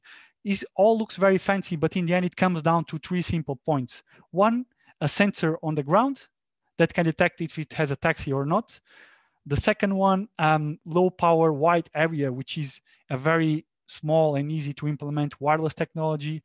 And then in the end, a data platform that can gather this information in the cloud. This, um, it's not very expensive to implement. I don't have the key figures for this particular example. However, I can ensure you that this is not something that would pass the, the, the, the a lot of the thousands of euros it's more than important to see the monitoring that you can actually have the, the infrastructure and the people within or your municipality or your uh, city or another company that is uh, working with you that can provide uh, this service. So the keys for success here are what the keys for success here are that um, the, the taxis operators were, were informed about the measure, so they were happy about it, so they could um, use it. And there was a, a, driver survey, so they asked the driver and they liked the measure because in the end, it's about increasing efficiency, which increases not only uses of the, the, the taxis, but also revenues for the taxis themselves. So if you go here for the impacts and results, so there was a, a reduction. So especially cars going around back and forth looking for customers. Um, and then in the end, this gives a lot of uh, sub uh, impacts, which are, you know, reduction of traffic congestion, reduction of uh, taxi drivers that are uninformed, um, the provision of information, uh, giving new potential clients, um, a new strategy to increase customers, and also, you know, the the good, um, the new thing that normally people also like, uh, the curiosity of using a new tool, a new uh, possible way of improvement, and you feel more smart, smarter in your mobility system.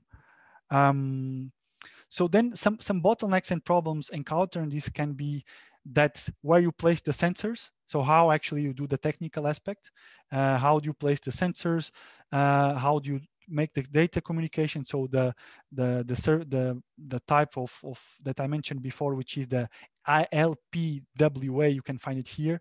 Um, low power wide area technology proved to be not that efficient as uh, as it should be, but it's it's all about good planning.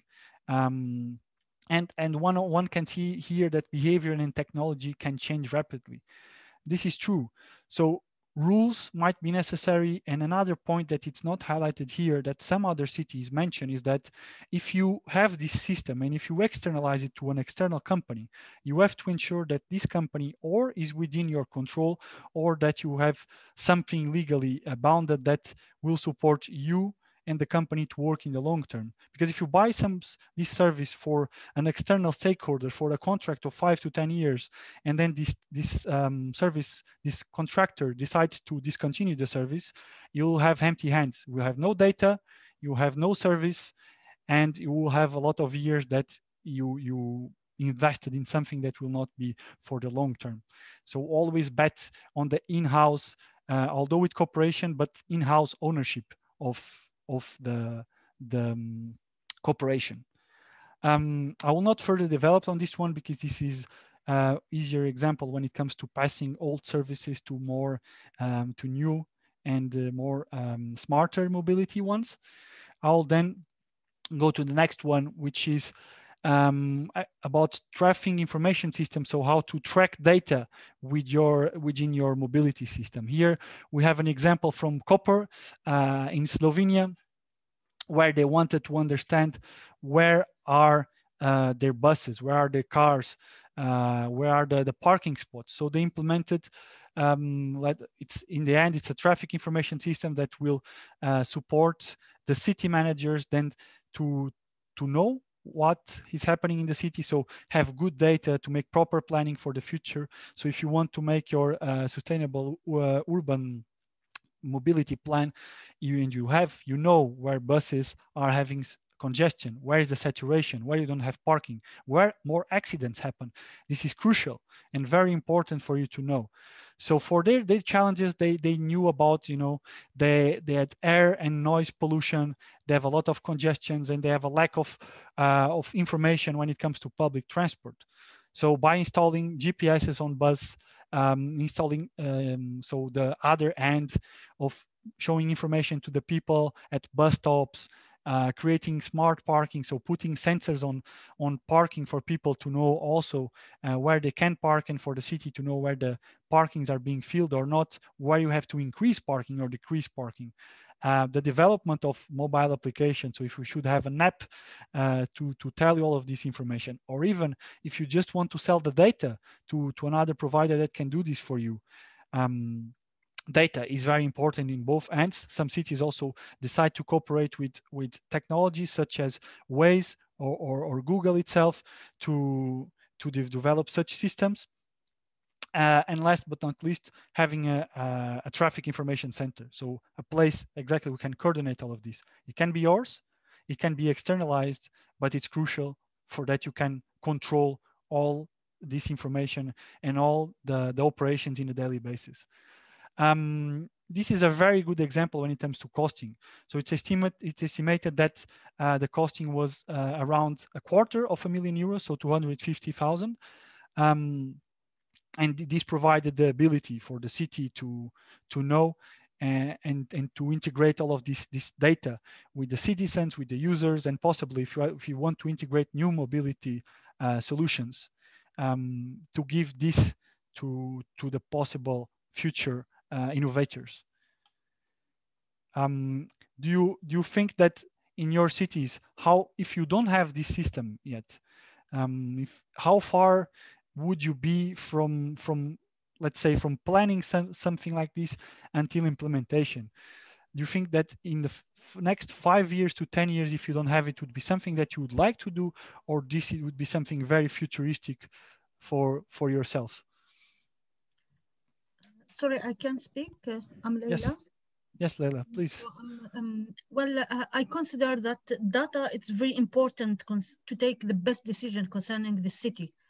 And um, uh, concerning our municipality, we have uh, we developed this issue through G uh, Geographic Information System (GIS), maybe it's not in the same way as um, the, the example of Slovenia, but we use the um, uh, uh, GIS uh, to develop our geodatabase uh, and uh, to um, uh, to uh, create our uh, layers, our uh, information concerning the network of mobility. And we are developing this until now, we are working in this. and sure, we want to see how we can develop this issue more better, you know, and how we can this can contribute to develop uh, uh, in a good way the decision uh, taken by the municipality concerning the urban mobility and transportation. So um, uh, what I want to say that uh, we are in phase to build, we have different data uh, concerning mobility, which are integrated in GIS, and we are looking now to develop it more better um, uh, and to develop uh, more the model of urban mobility based in GIS to uh, manage in a good way our mobility system. Thank you. Thank you. That, that's, uh, very good that, that you mentioned that. May I ask you, when did you started to implement this? You mentioned now? Is it was a couple of years ago?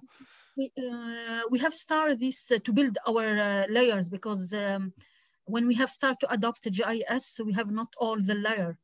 Mm-hmm. So concerning the mobility and transportation, maybe uh, two years two years ago we have started this, and um, we still we are working because we need to build in correct way our network in GIS. Uh, in cor correct way, which means to have the good data, uh, to have um, uh, the good information, which not easy sometimes, which need the field work survey. And but we are working in this and we hope we can develop it uh, um, during this year and to adapt it sure each year. Thank you.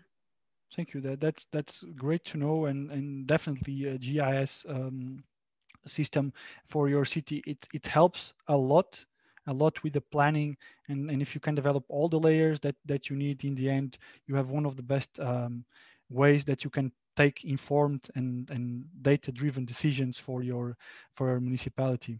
So uh, thank you that, for that, Ms. Leila. Leila, and, it's great to, to know that you are working on it.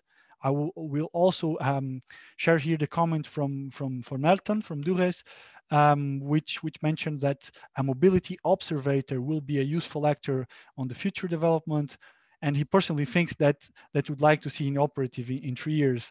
So I, I wish you um, the best of luck to push for that, because as as I, I speak for me and Alex when we when we say that this is key is a key aspect for for having one of the best plannings for mobility in your in your cities as data can can be the the starter for a lot of new ideas and new implementations.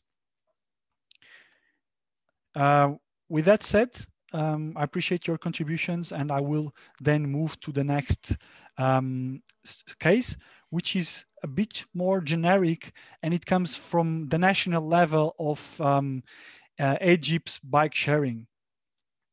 So th this comes a bit from, remember when I told you uh, some, some minutes back that you should look for stakeholders that can be your pilots in, in this implementation. Um, so this is exactly what happened here at a certain stage.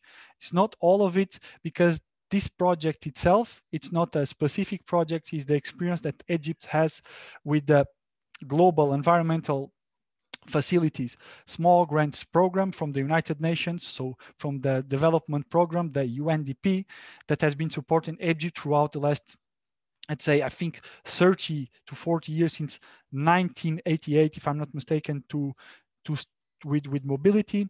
However, at this moment, they, they managed to have already 38 projects in this field and have distributed 15,000 bicycles throughout governments and throughout the revolving fund mechanism. So they they actually use this is one of the funding mechanisms that you can try to use to pass your your challenges at the moment when it comes to funding this sort of solutions. Um, and last but not least, you can see here in the picture uh, the students from um, from from one of the from university because they pioneered this one of the corporations in in 2015 um, to to 17 with with cities with cities with students in universities so that they were encouraged to use this bike, these bikes. Students are always, again, a good um, user target for, for piloting such actions because you cooperate with universities. The universities help you even to get sometimes with the technical aspects of such um, such implementation as they have the know-how and the, the knowledge to of the technical side. And then the students will be willing to promote the actions and happily use it uh, for the future. I will then pass to one example then uh, also a bit different if it comes from i know there's a lot of tunisian cities um, in, in the call i believe um, and it's an example when come when come private the private sectors comes by itself to to to change the the mobility system. So we have here from, from Tunisia the, the startup Intigo that, that started late in 2019 and up to this very moment they they have already 1.6 million dollars of investment from private investors from angel investors to series a. Um, they can say that this service so they, they have three types of services which is transportation of people in the in the motorbikes. So they have a motorbike where you can sit on the back um, and you you kind of it's it's kind of different than, than some of the other services but you it's a motorbike where you have the driver and you can sit on the back and the driver will take you wherever you want. They also make transportation of uh, of goods so you also work on the logistics and have a fun let's uh, i'll call it a fun service which is the concierge service where they can work and do uh, do let's say um, errands for you. Uh, however this this system it's it's considered rather uh, low in price. So they managed to get the eyes and the targets of people by managing to, to be cheaper than regular taxis, to get your things fast and quick via an app. App of this that I speak that in the first month on in, on 2020, so before they get the investment, they got 30,000 downloads uh, and they had a fleet of, of 50, 50 scooters and uh, one and one 11 11,000 drives rides just in January 2020 alone. So we're talking about in the very early stages. Now they've launched and they have much more. Um, other services like this can be found in in other countries. For example, here in Europe, we have a lot of, you know, the the typical um, logistics ones. They even have now one service called Gorillas that they they deliver uh, goods for you and logistics in less than 10 minutes, 10 minutes that you can ask for it. Very similar to this service, only on logistics. You have, you know, the others. If you go for the, the taxi part, when it comes uh, to new models, you know, everybody knows about Lyft, Uber, um, Bolt, uh, when it comes only to transportation of people. So this type of transportation can and will try to operate in your city the good and, and, and the important part is to know how actually will you work with them. So make it make it that they have to talk to you when they implement the solutions and be, be sure that you are part uh, on the discussions and your uh, plans are included when you bring a company like this to your cities. Because as you may seen on another example, a lot of these uh, scooter companies just come and drop um, scooters and to, to the cities that sometimes ended up in, in rivers, in the water, break, broken everywhere. It's kind of, then it looks trash in the city. So one of the lessons learned from, from the major cities in Europe is that you have to talk with them, you have to sit down with them and make sure that they act to your regulations and you don't allow them to act alone in the in your city, but act with you. Same uh, goes for this example. And now, as we approach uh, the end, I will pass back the word to Alex, who has two more examples um, to explain. One from a non-Mediterranean city, which is very important when to understand smart cities, and another one about how to have proper planning. So I will revert back the word to you, Alex. Thanks a lot, Miguel. Um, so the next example um, that that we have here is actually um, from the same area I used the other example from non-Mediterranean, but we chose it because um, several of you also mentioned last time tourism is an important one. This has a lovely um, uh, tourism angle to it. So first of all, it's a very similar kind of concept than one of the um, examples uh, Miguel has already shown to you. it uh, collects live traffic data from um, from the surrounding of that uh, particular district. Um, it has several um, uh, different versions on how to do this, but one that is rather new and one that we have not talked about is it uses cameras uh, with number plate recognition. Um, so it basically can read who is actually coming into the district. That might be interesting for some of you when it comes to accessing government parking facilities. That might be interesting for you when it comes to restricted areas in general. Um, uh, in that particular case, it's used actually as an additional service. So it's not a re re reduced mobility area. It's actually providing guidance for the um, user towards uh, going to the right um, location. So you can pre basically pre-book a parking space and then the system there shows you where you need to go. So that it has the uh, on-street parking and the off-street parking, so parking garage included in it. The parking garages are from several different providers, so it was nicely technically integrated. And then the guidance systems, which are LED screens and some other um, uh, provisions, guide you actually to the parking spot. And um, this, um, uh, what I wanted to talk to you about with uh, with that one in particular, is uh, it provides a live guidance system. So in this case, the trigger is actually who comes into um, the uh, the area. With some of you, where you might um, uh, have tourism um, uh, or tourists to steer around, you could use other um, steering uh, mechanisms. For example, you could give them um, in like this very simple kind of LED screens on road. Um, you could provide the um, people with the in the morning with the guidance. Okay, here here is uh, where the morning event, um, or here is where it goes to the beach. And in the evening, you could um, use the same sign to show, hey, this is where it goes um, uh, to this event or uh, to this uh, institution, to this museum. So you can actually change the guidance throughout the day, depending on what's happening in your touristic areas.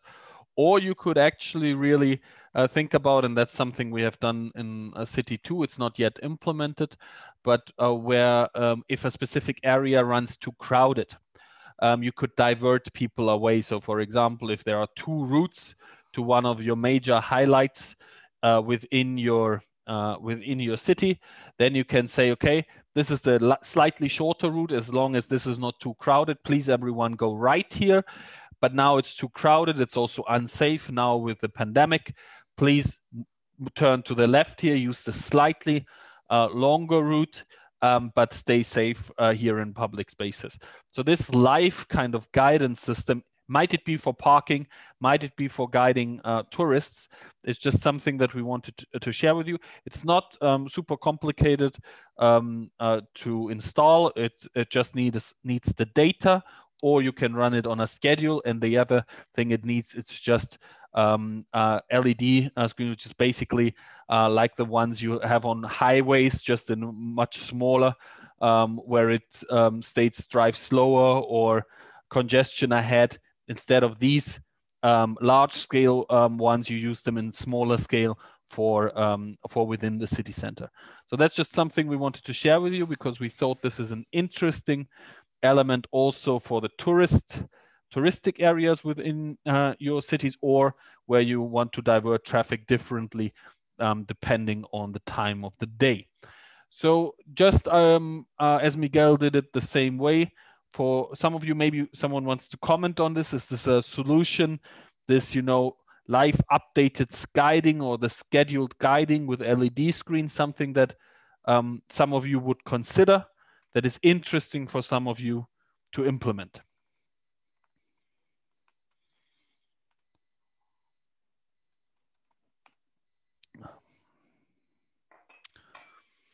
I, I was hoping here in particular, specifically with the um, touristic areas, but um, I'll move then uh, forward um, to our last um, example, actually, uh, which is from the Italian city of Potenza. So it's um, uh, south of Italy. Um, and this is actually a non-technical one, and we love that one a lot. And this is, I would say, an example that can be used in many of your municipalities um, as well. So this is about a mobility center, um, which is basically um, like you want to say a tourism center where people go to find out about the touristic places. This is one where people would find out about the mobility in the um, uh, in in the region. So what um, it was there for, so it was co-financed by public funds. It was basically there to address the high uh, usage of. Okay. Um, to address the high um, usage of uh, private vehicles, um, to reduce emissions, and to basically guide people um, towards changing their behavior with regards to mobility. It's an information place uh, uh, for uh, the local mobility. It had some focus areas, some uh, connected initiatives, such as commuting initiative, where it was about specifically changing um, the um, the behavior where you how you go to work and how you commute in that sense. But in general, it was it is was not it is a space um, where anyone can walk in, receive information on um, how to um, improve travel behavior, on what options are available. So it's a go-to point, a central go-to point for these kinds of information. And also um, there are um, mobility uh, employees of the municipality and of the arm length company that basically also work there, provide input, and also get input from the um, uh, from the people that walk in there. And that was only the starting point of this initiative. Then there was um, um, in the initially four and then a fifth um, location, so something like co-location centers for these mobility, mobility offices being put around the city. Some were put into major employees, some were put in, uh, in just public offices that basically somehow served the same purpose, but um, provided additional go-to points for the local uh, people to actually go. And that brought basically the mobility planning and also you know the informing of people just closer to the cities and the citizens and the travelers within the cities. In in the development of this lots of different kinds of stakeholders um, were involved so very much like we have shown you um, earlier already. And uh, the impact um, was um, very uh, positive. So these centers not just um, so they became permanent um, uh, really and became a successful go-to point for uh, for citizens to really understand and get to know about uh, public uh, trans transportation, and it really provided this direct connection, this real um, you know exchange between the users and the planners. So that's um, uh, what this one um, uh, was about. Um, it was part of a major redevelopment and understanding of the uh, of the um, city and um, uh, and part of the implementation of a mobility plan. And like this, um, uh, the you know in in during the project, uh, it, it got a lot more traction. So more users, more politicians, more uh, companies really wanted to join the program, wanted to use the activities, and this is why it's from my side considered a very simple but very useful measure that's not technical at all. It's just an organizational activity to bring planning really closer to the users, to the citizens, and um, have them really understand, provide input, and use the urban mobility services that we have. So that's our last example. I'm opening up again if anyone uh, thinks about implementing something uh, like this, if this is something that you uh, are considering, or if you think actually that this is something that you should implement or have already implemented in your uh, in your municipality.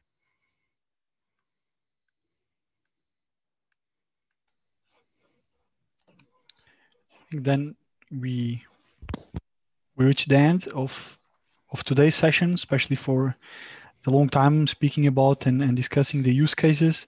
But we still have, of course, time for um, any questions, comments, or or any other um, things that you may want to say uh, to to us in the session today. Uh, sorry, can I ask a question? Of course. Yeah, mm, um, thank you very much for this presentation and the last presentation. It's very interesting to see um,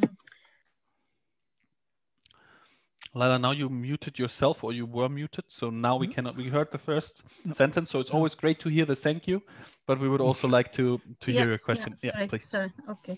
So um, my question, my first question is how, um, because uh, the municipality we have uh, established private company owned by the municipality, which will deal with um, different uh, issue related to the city as waste management as, and uh, also uh, the subject of uh, public uh, transportation. The new law allowed the municipality to be in charge of, uh, of the management of public transport.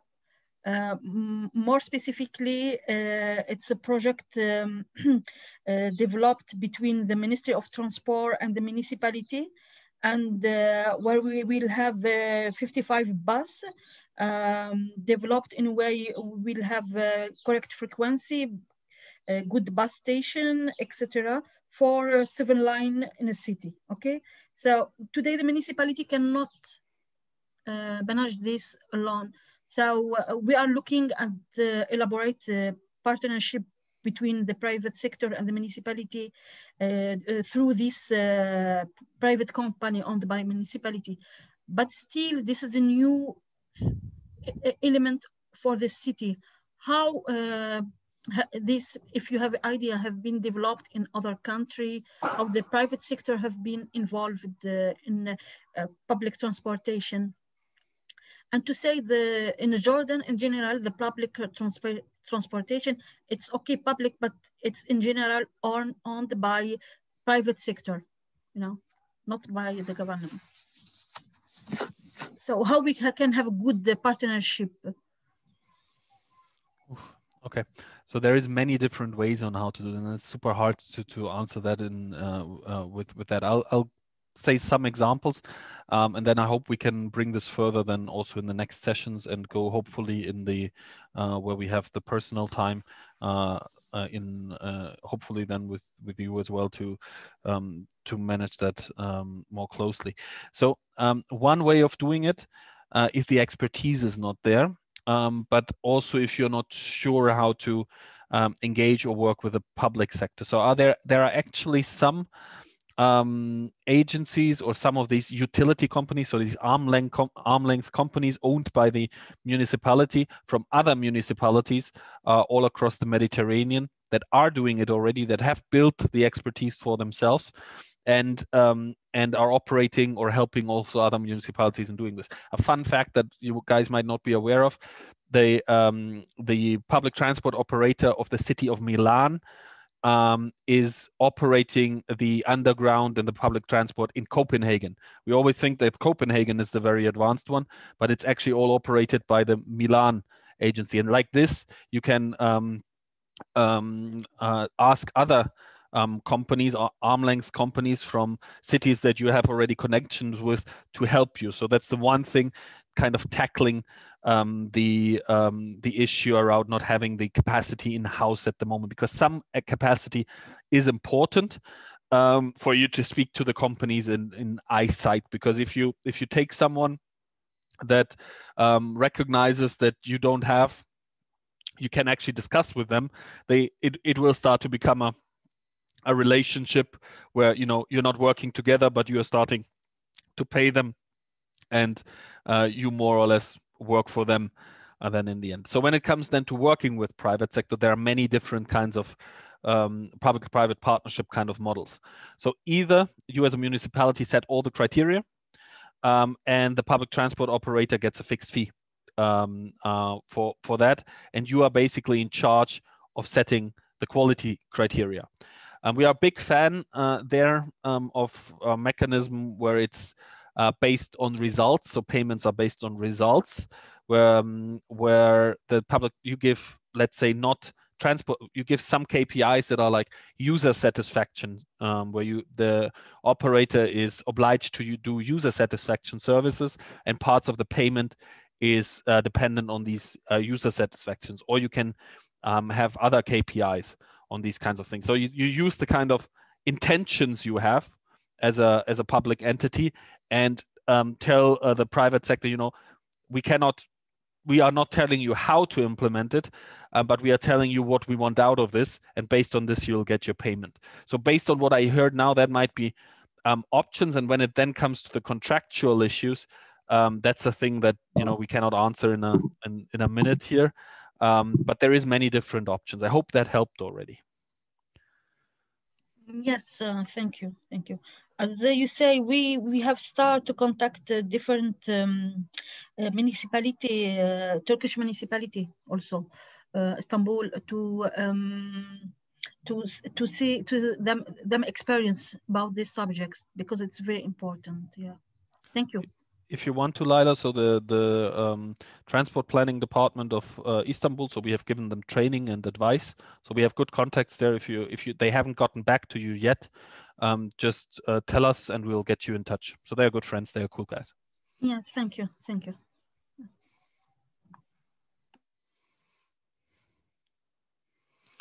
If there are more questions, please, uh, everyone. That's what we are here for. We we happily uh, reply to them. Else, we will um, also uh, hand back to Gemma for the last words. I, I will be before uh, before Gemma. Maybe I don't know if she's going to speak about this, but uh, just a word for the last session. If you're not going to mention it, Gemma, or if you will, I will hand it over to you. Yeah, I was going to mention it, but okay. if you want to say some, something, I will add to what you mentioned. Okay, okay, thank you. I'll just want to, to as, as a word that the last session will be highly interactive. So we will divide, we will uh, present a case of a, of a Mediterranean city where you're going to present the city, how it looks like, what challenges it's facing, and what metrics. So how is the city working on mobility? What are the strong points, the pain points, and how the city should look like in terms of it's more data than than really how it looks like in real life, but how it looks like how is the mobility system working. And then we'll invite you to discuss on pain points, actions, um, and challenges that you will find on this uh, to solve and improve the mobility system of such city which this part will be highly interactive and we will need you to to cooperate and to discuss in order to to get to the to the latest results. Everything will be carried out by us or the rest. We just need to use your brain power for for some minutes and your interests to contribute with the best ideas and and your um, and well your experience of course within your city yeah, well, just to add up to this, uh, I would like to mention that, um, as you said, next week there there will be diff- like subsections. Uh, this will be or English or or uh, or French, sorry. So there will not be simultaneous translation in Arabic for next week. Uh, so, well, we would just like to encourage uh, you to participate there. Also, at the end of next week, uh, I will explain you about the next um, section, which will be the mentoring process, in which you can receive one-to-one advice from from Bable. Mm so yeah i will tell you all about it next week but i will encourage you also to apply for that. For example if now you had some ideas uh, about possible things to implement it your municipality or you would like to receive guidelines or of of where you could go uh, next steps etc mm, then I would encourage you to, to apply for the mentoring process. So thank you all. Uh, I will not uh, delay more. Uh, thank you for being here. Thank you, Miguel and Alex, uh, for the very nice slides. And thank you all of you who participated and especially the ones who raised uh, questions and commented on their own case and so on. Uh, so see you all next week.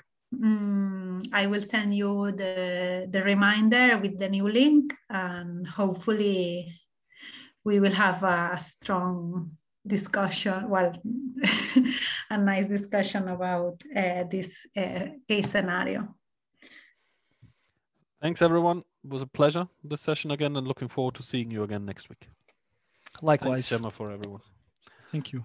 Thank you Thanks. everyone for joining. Gemma too.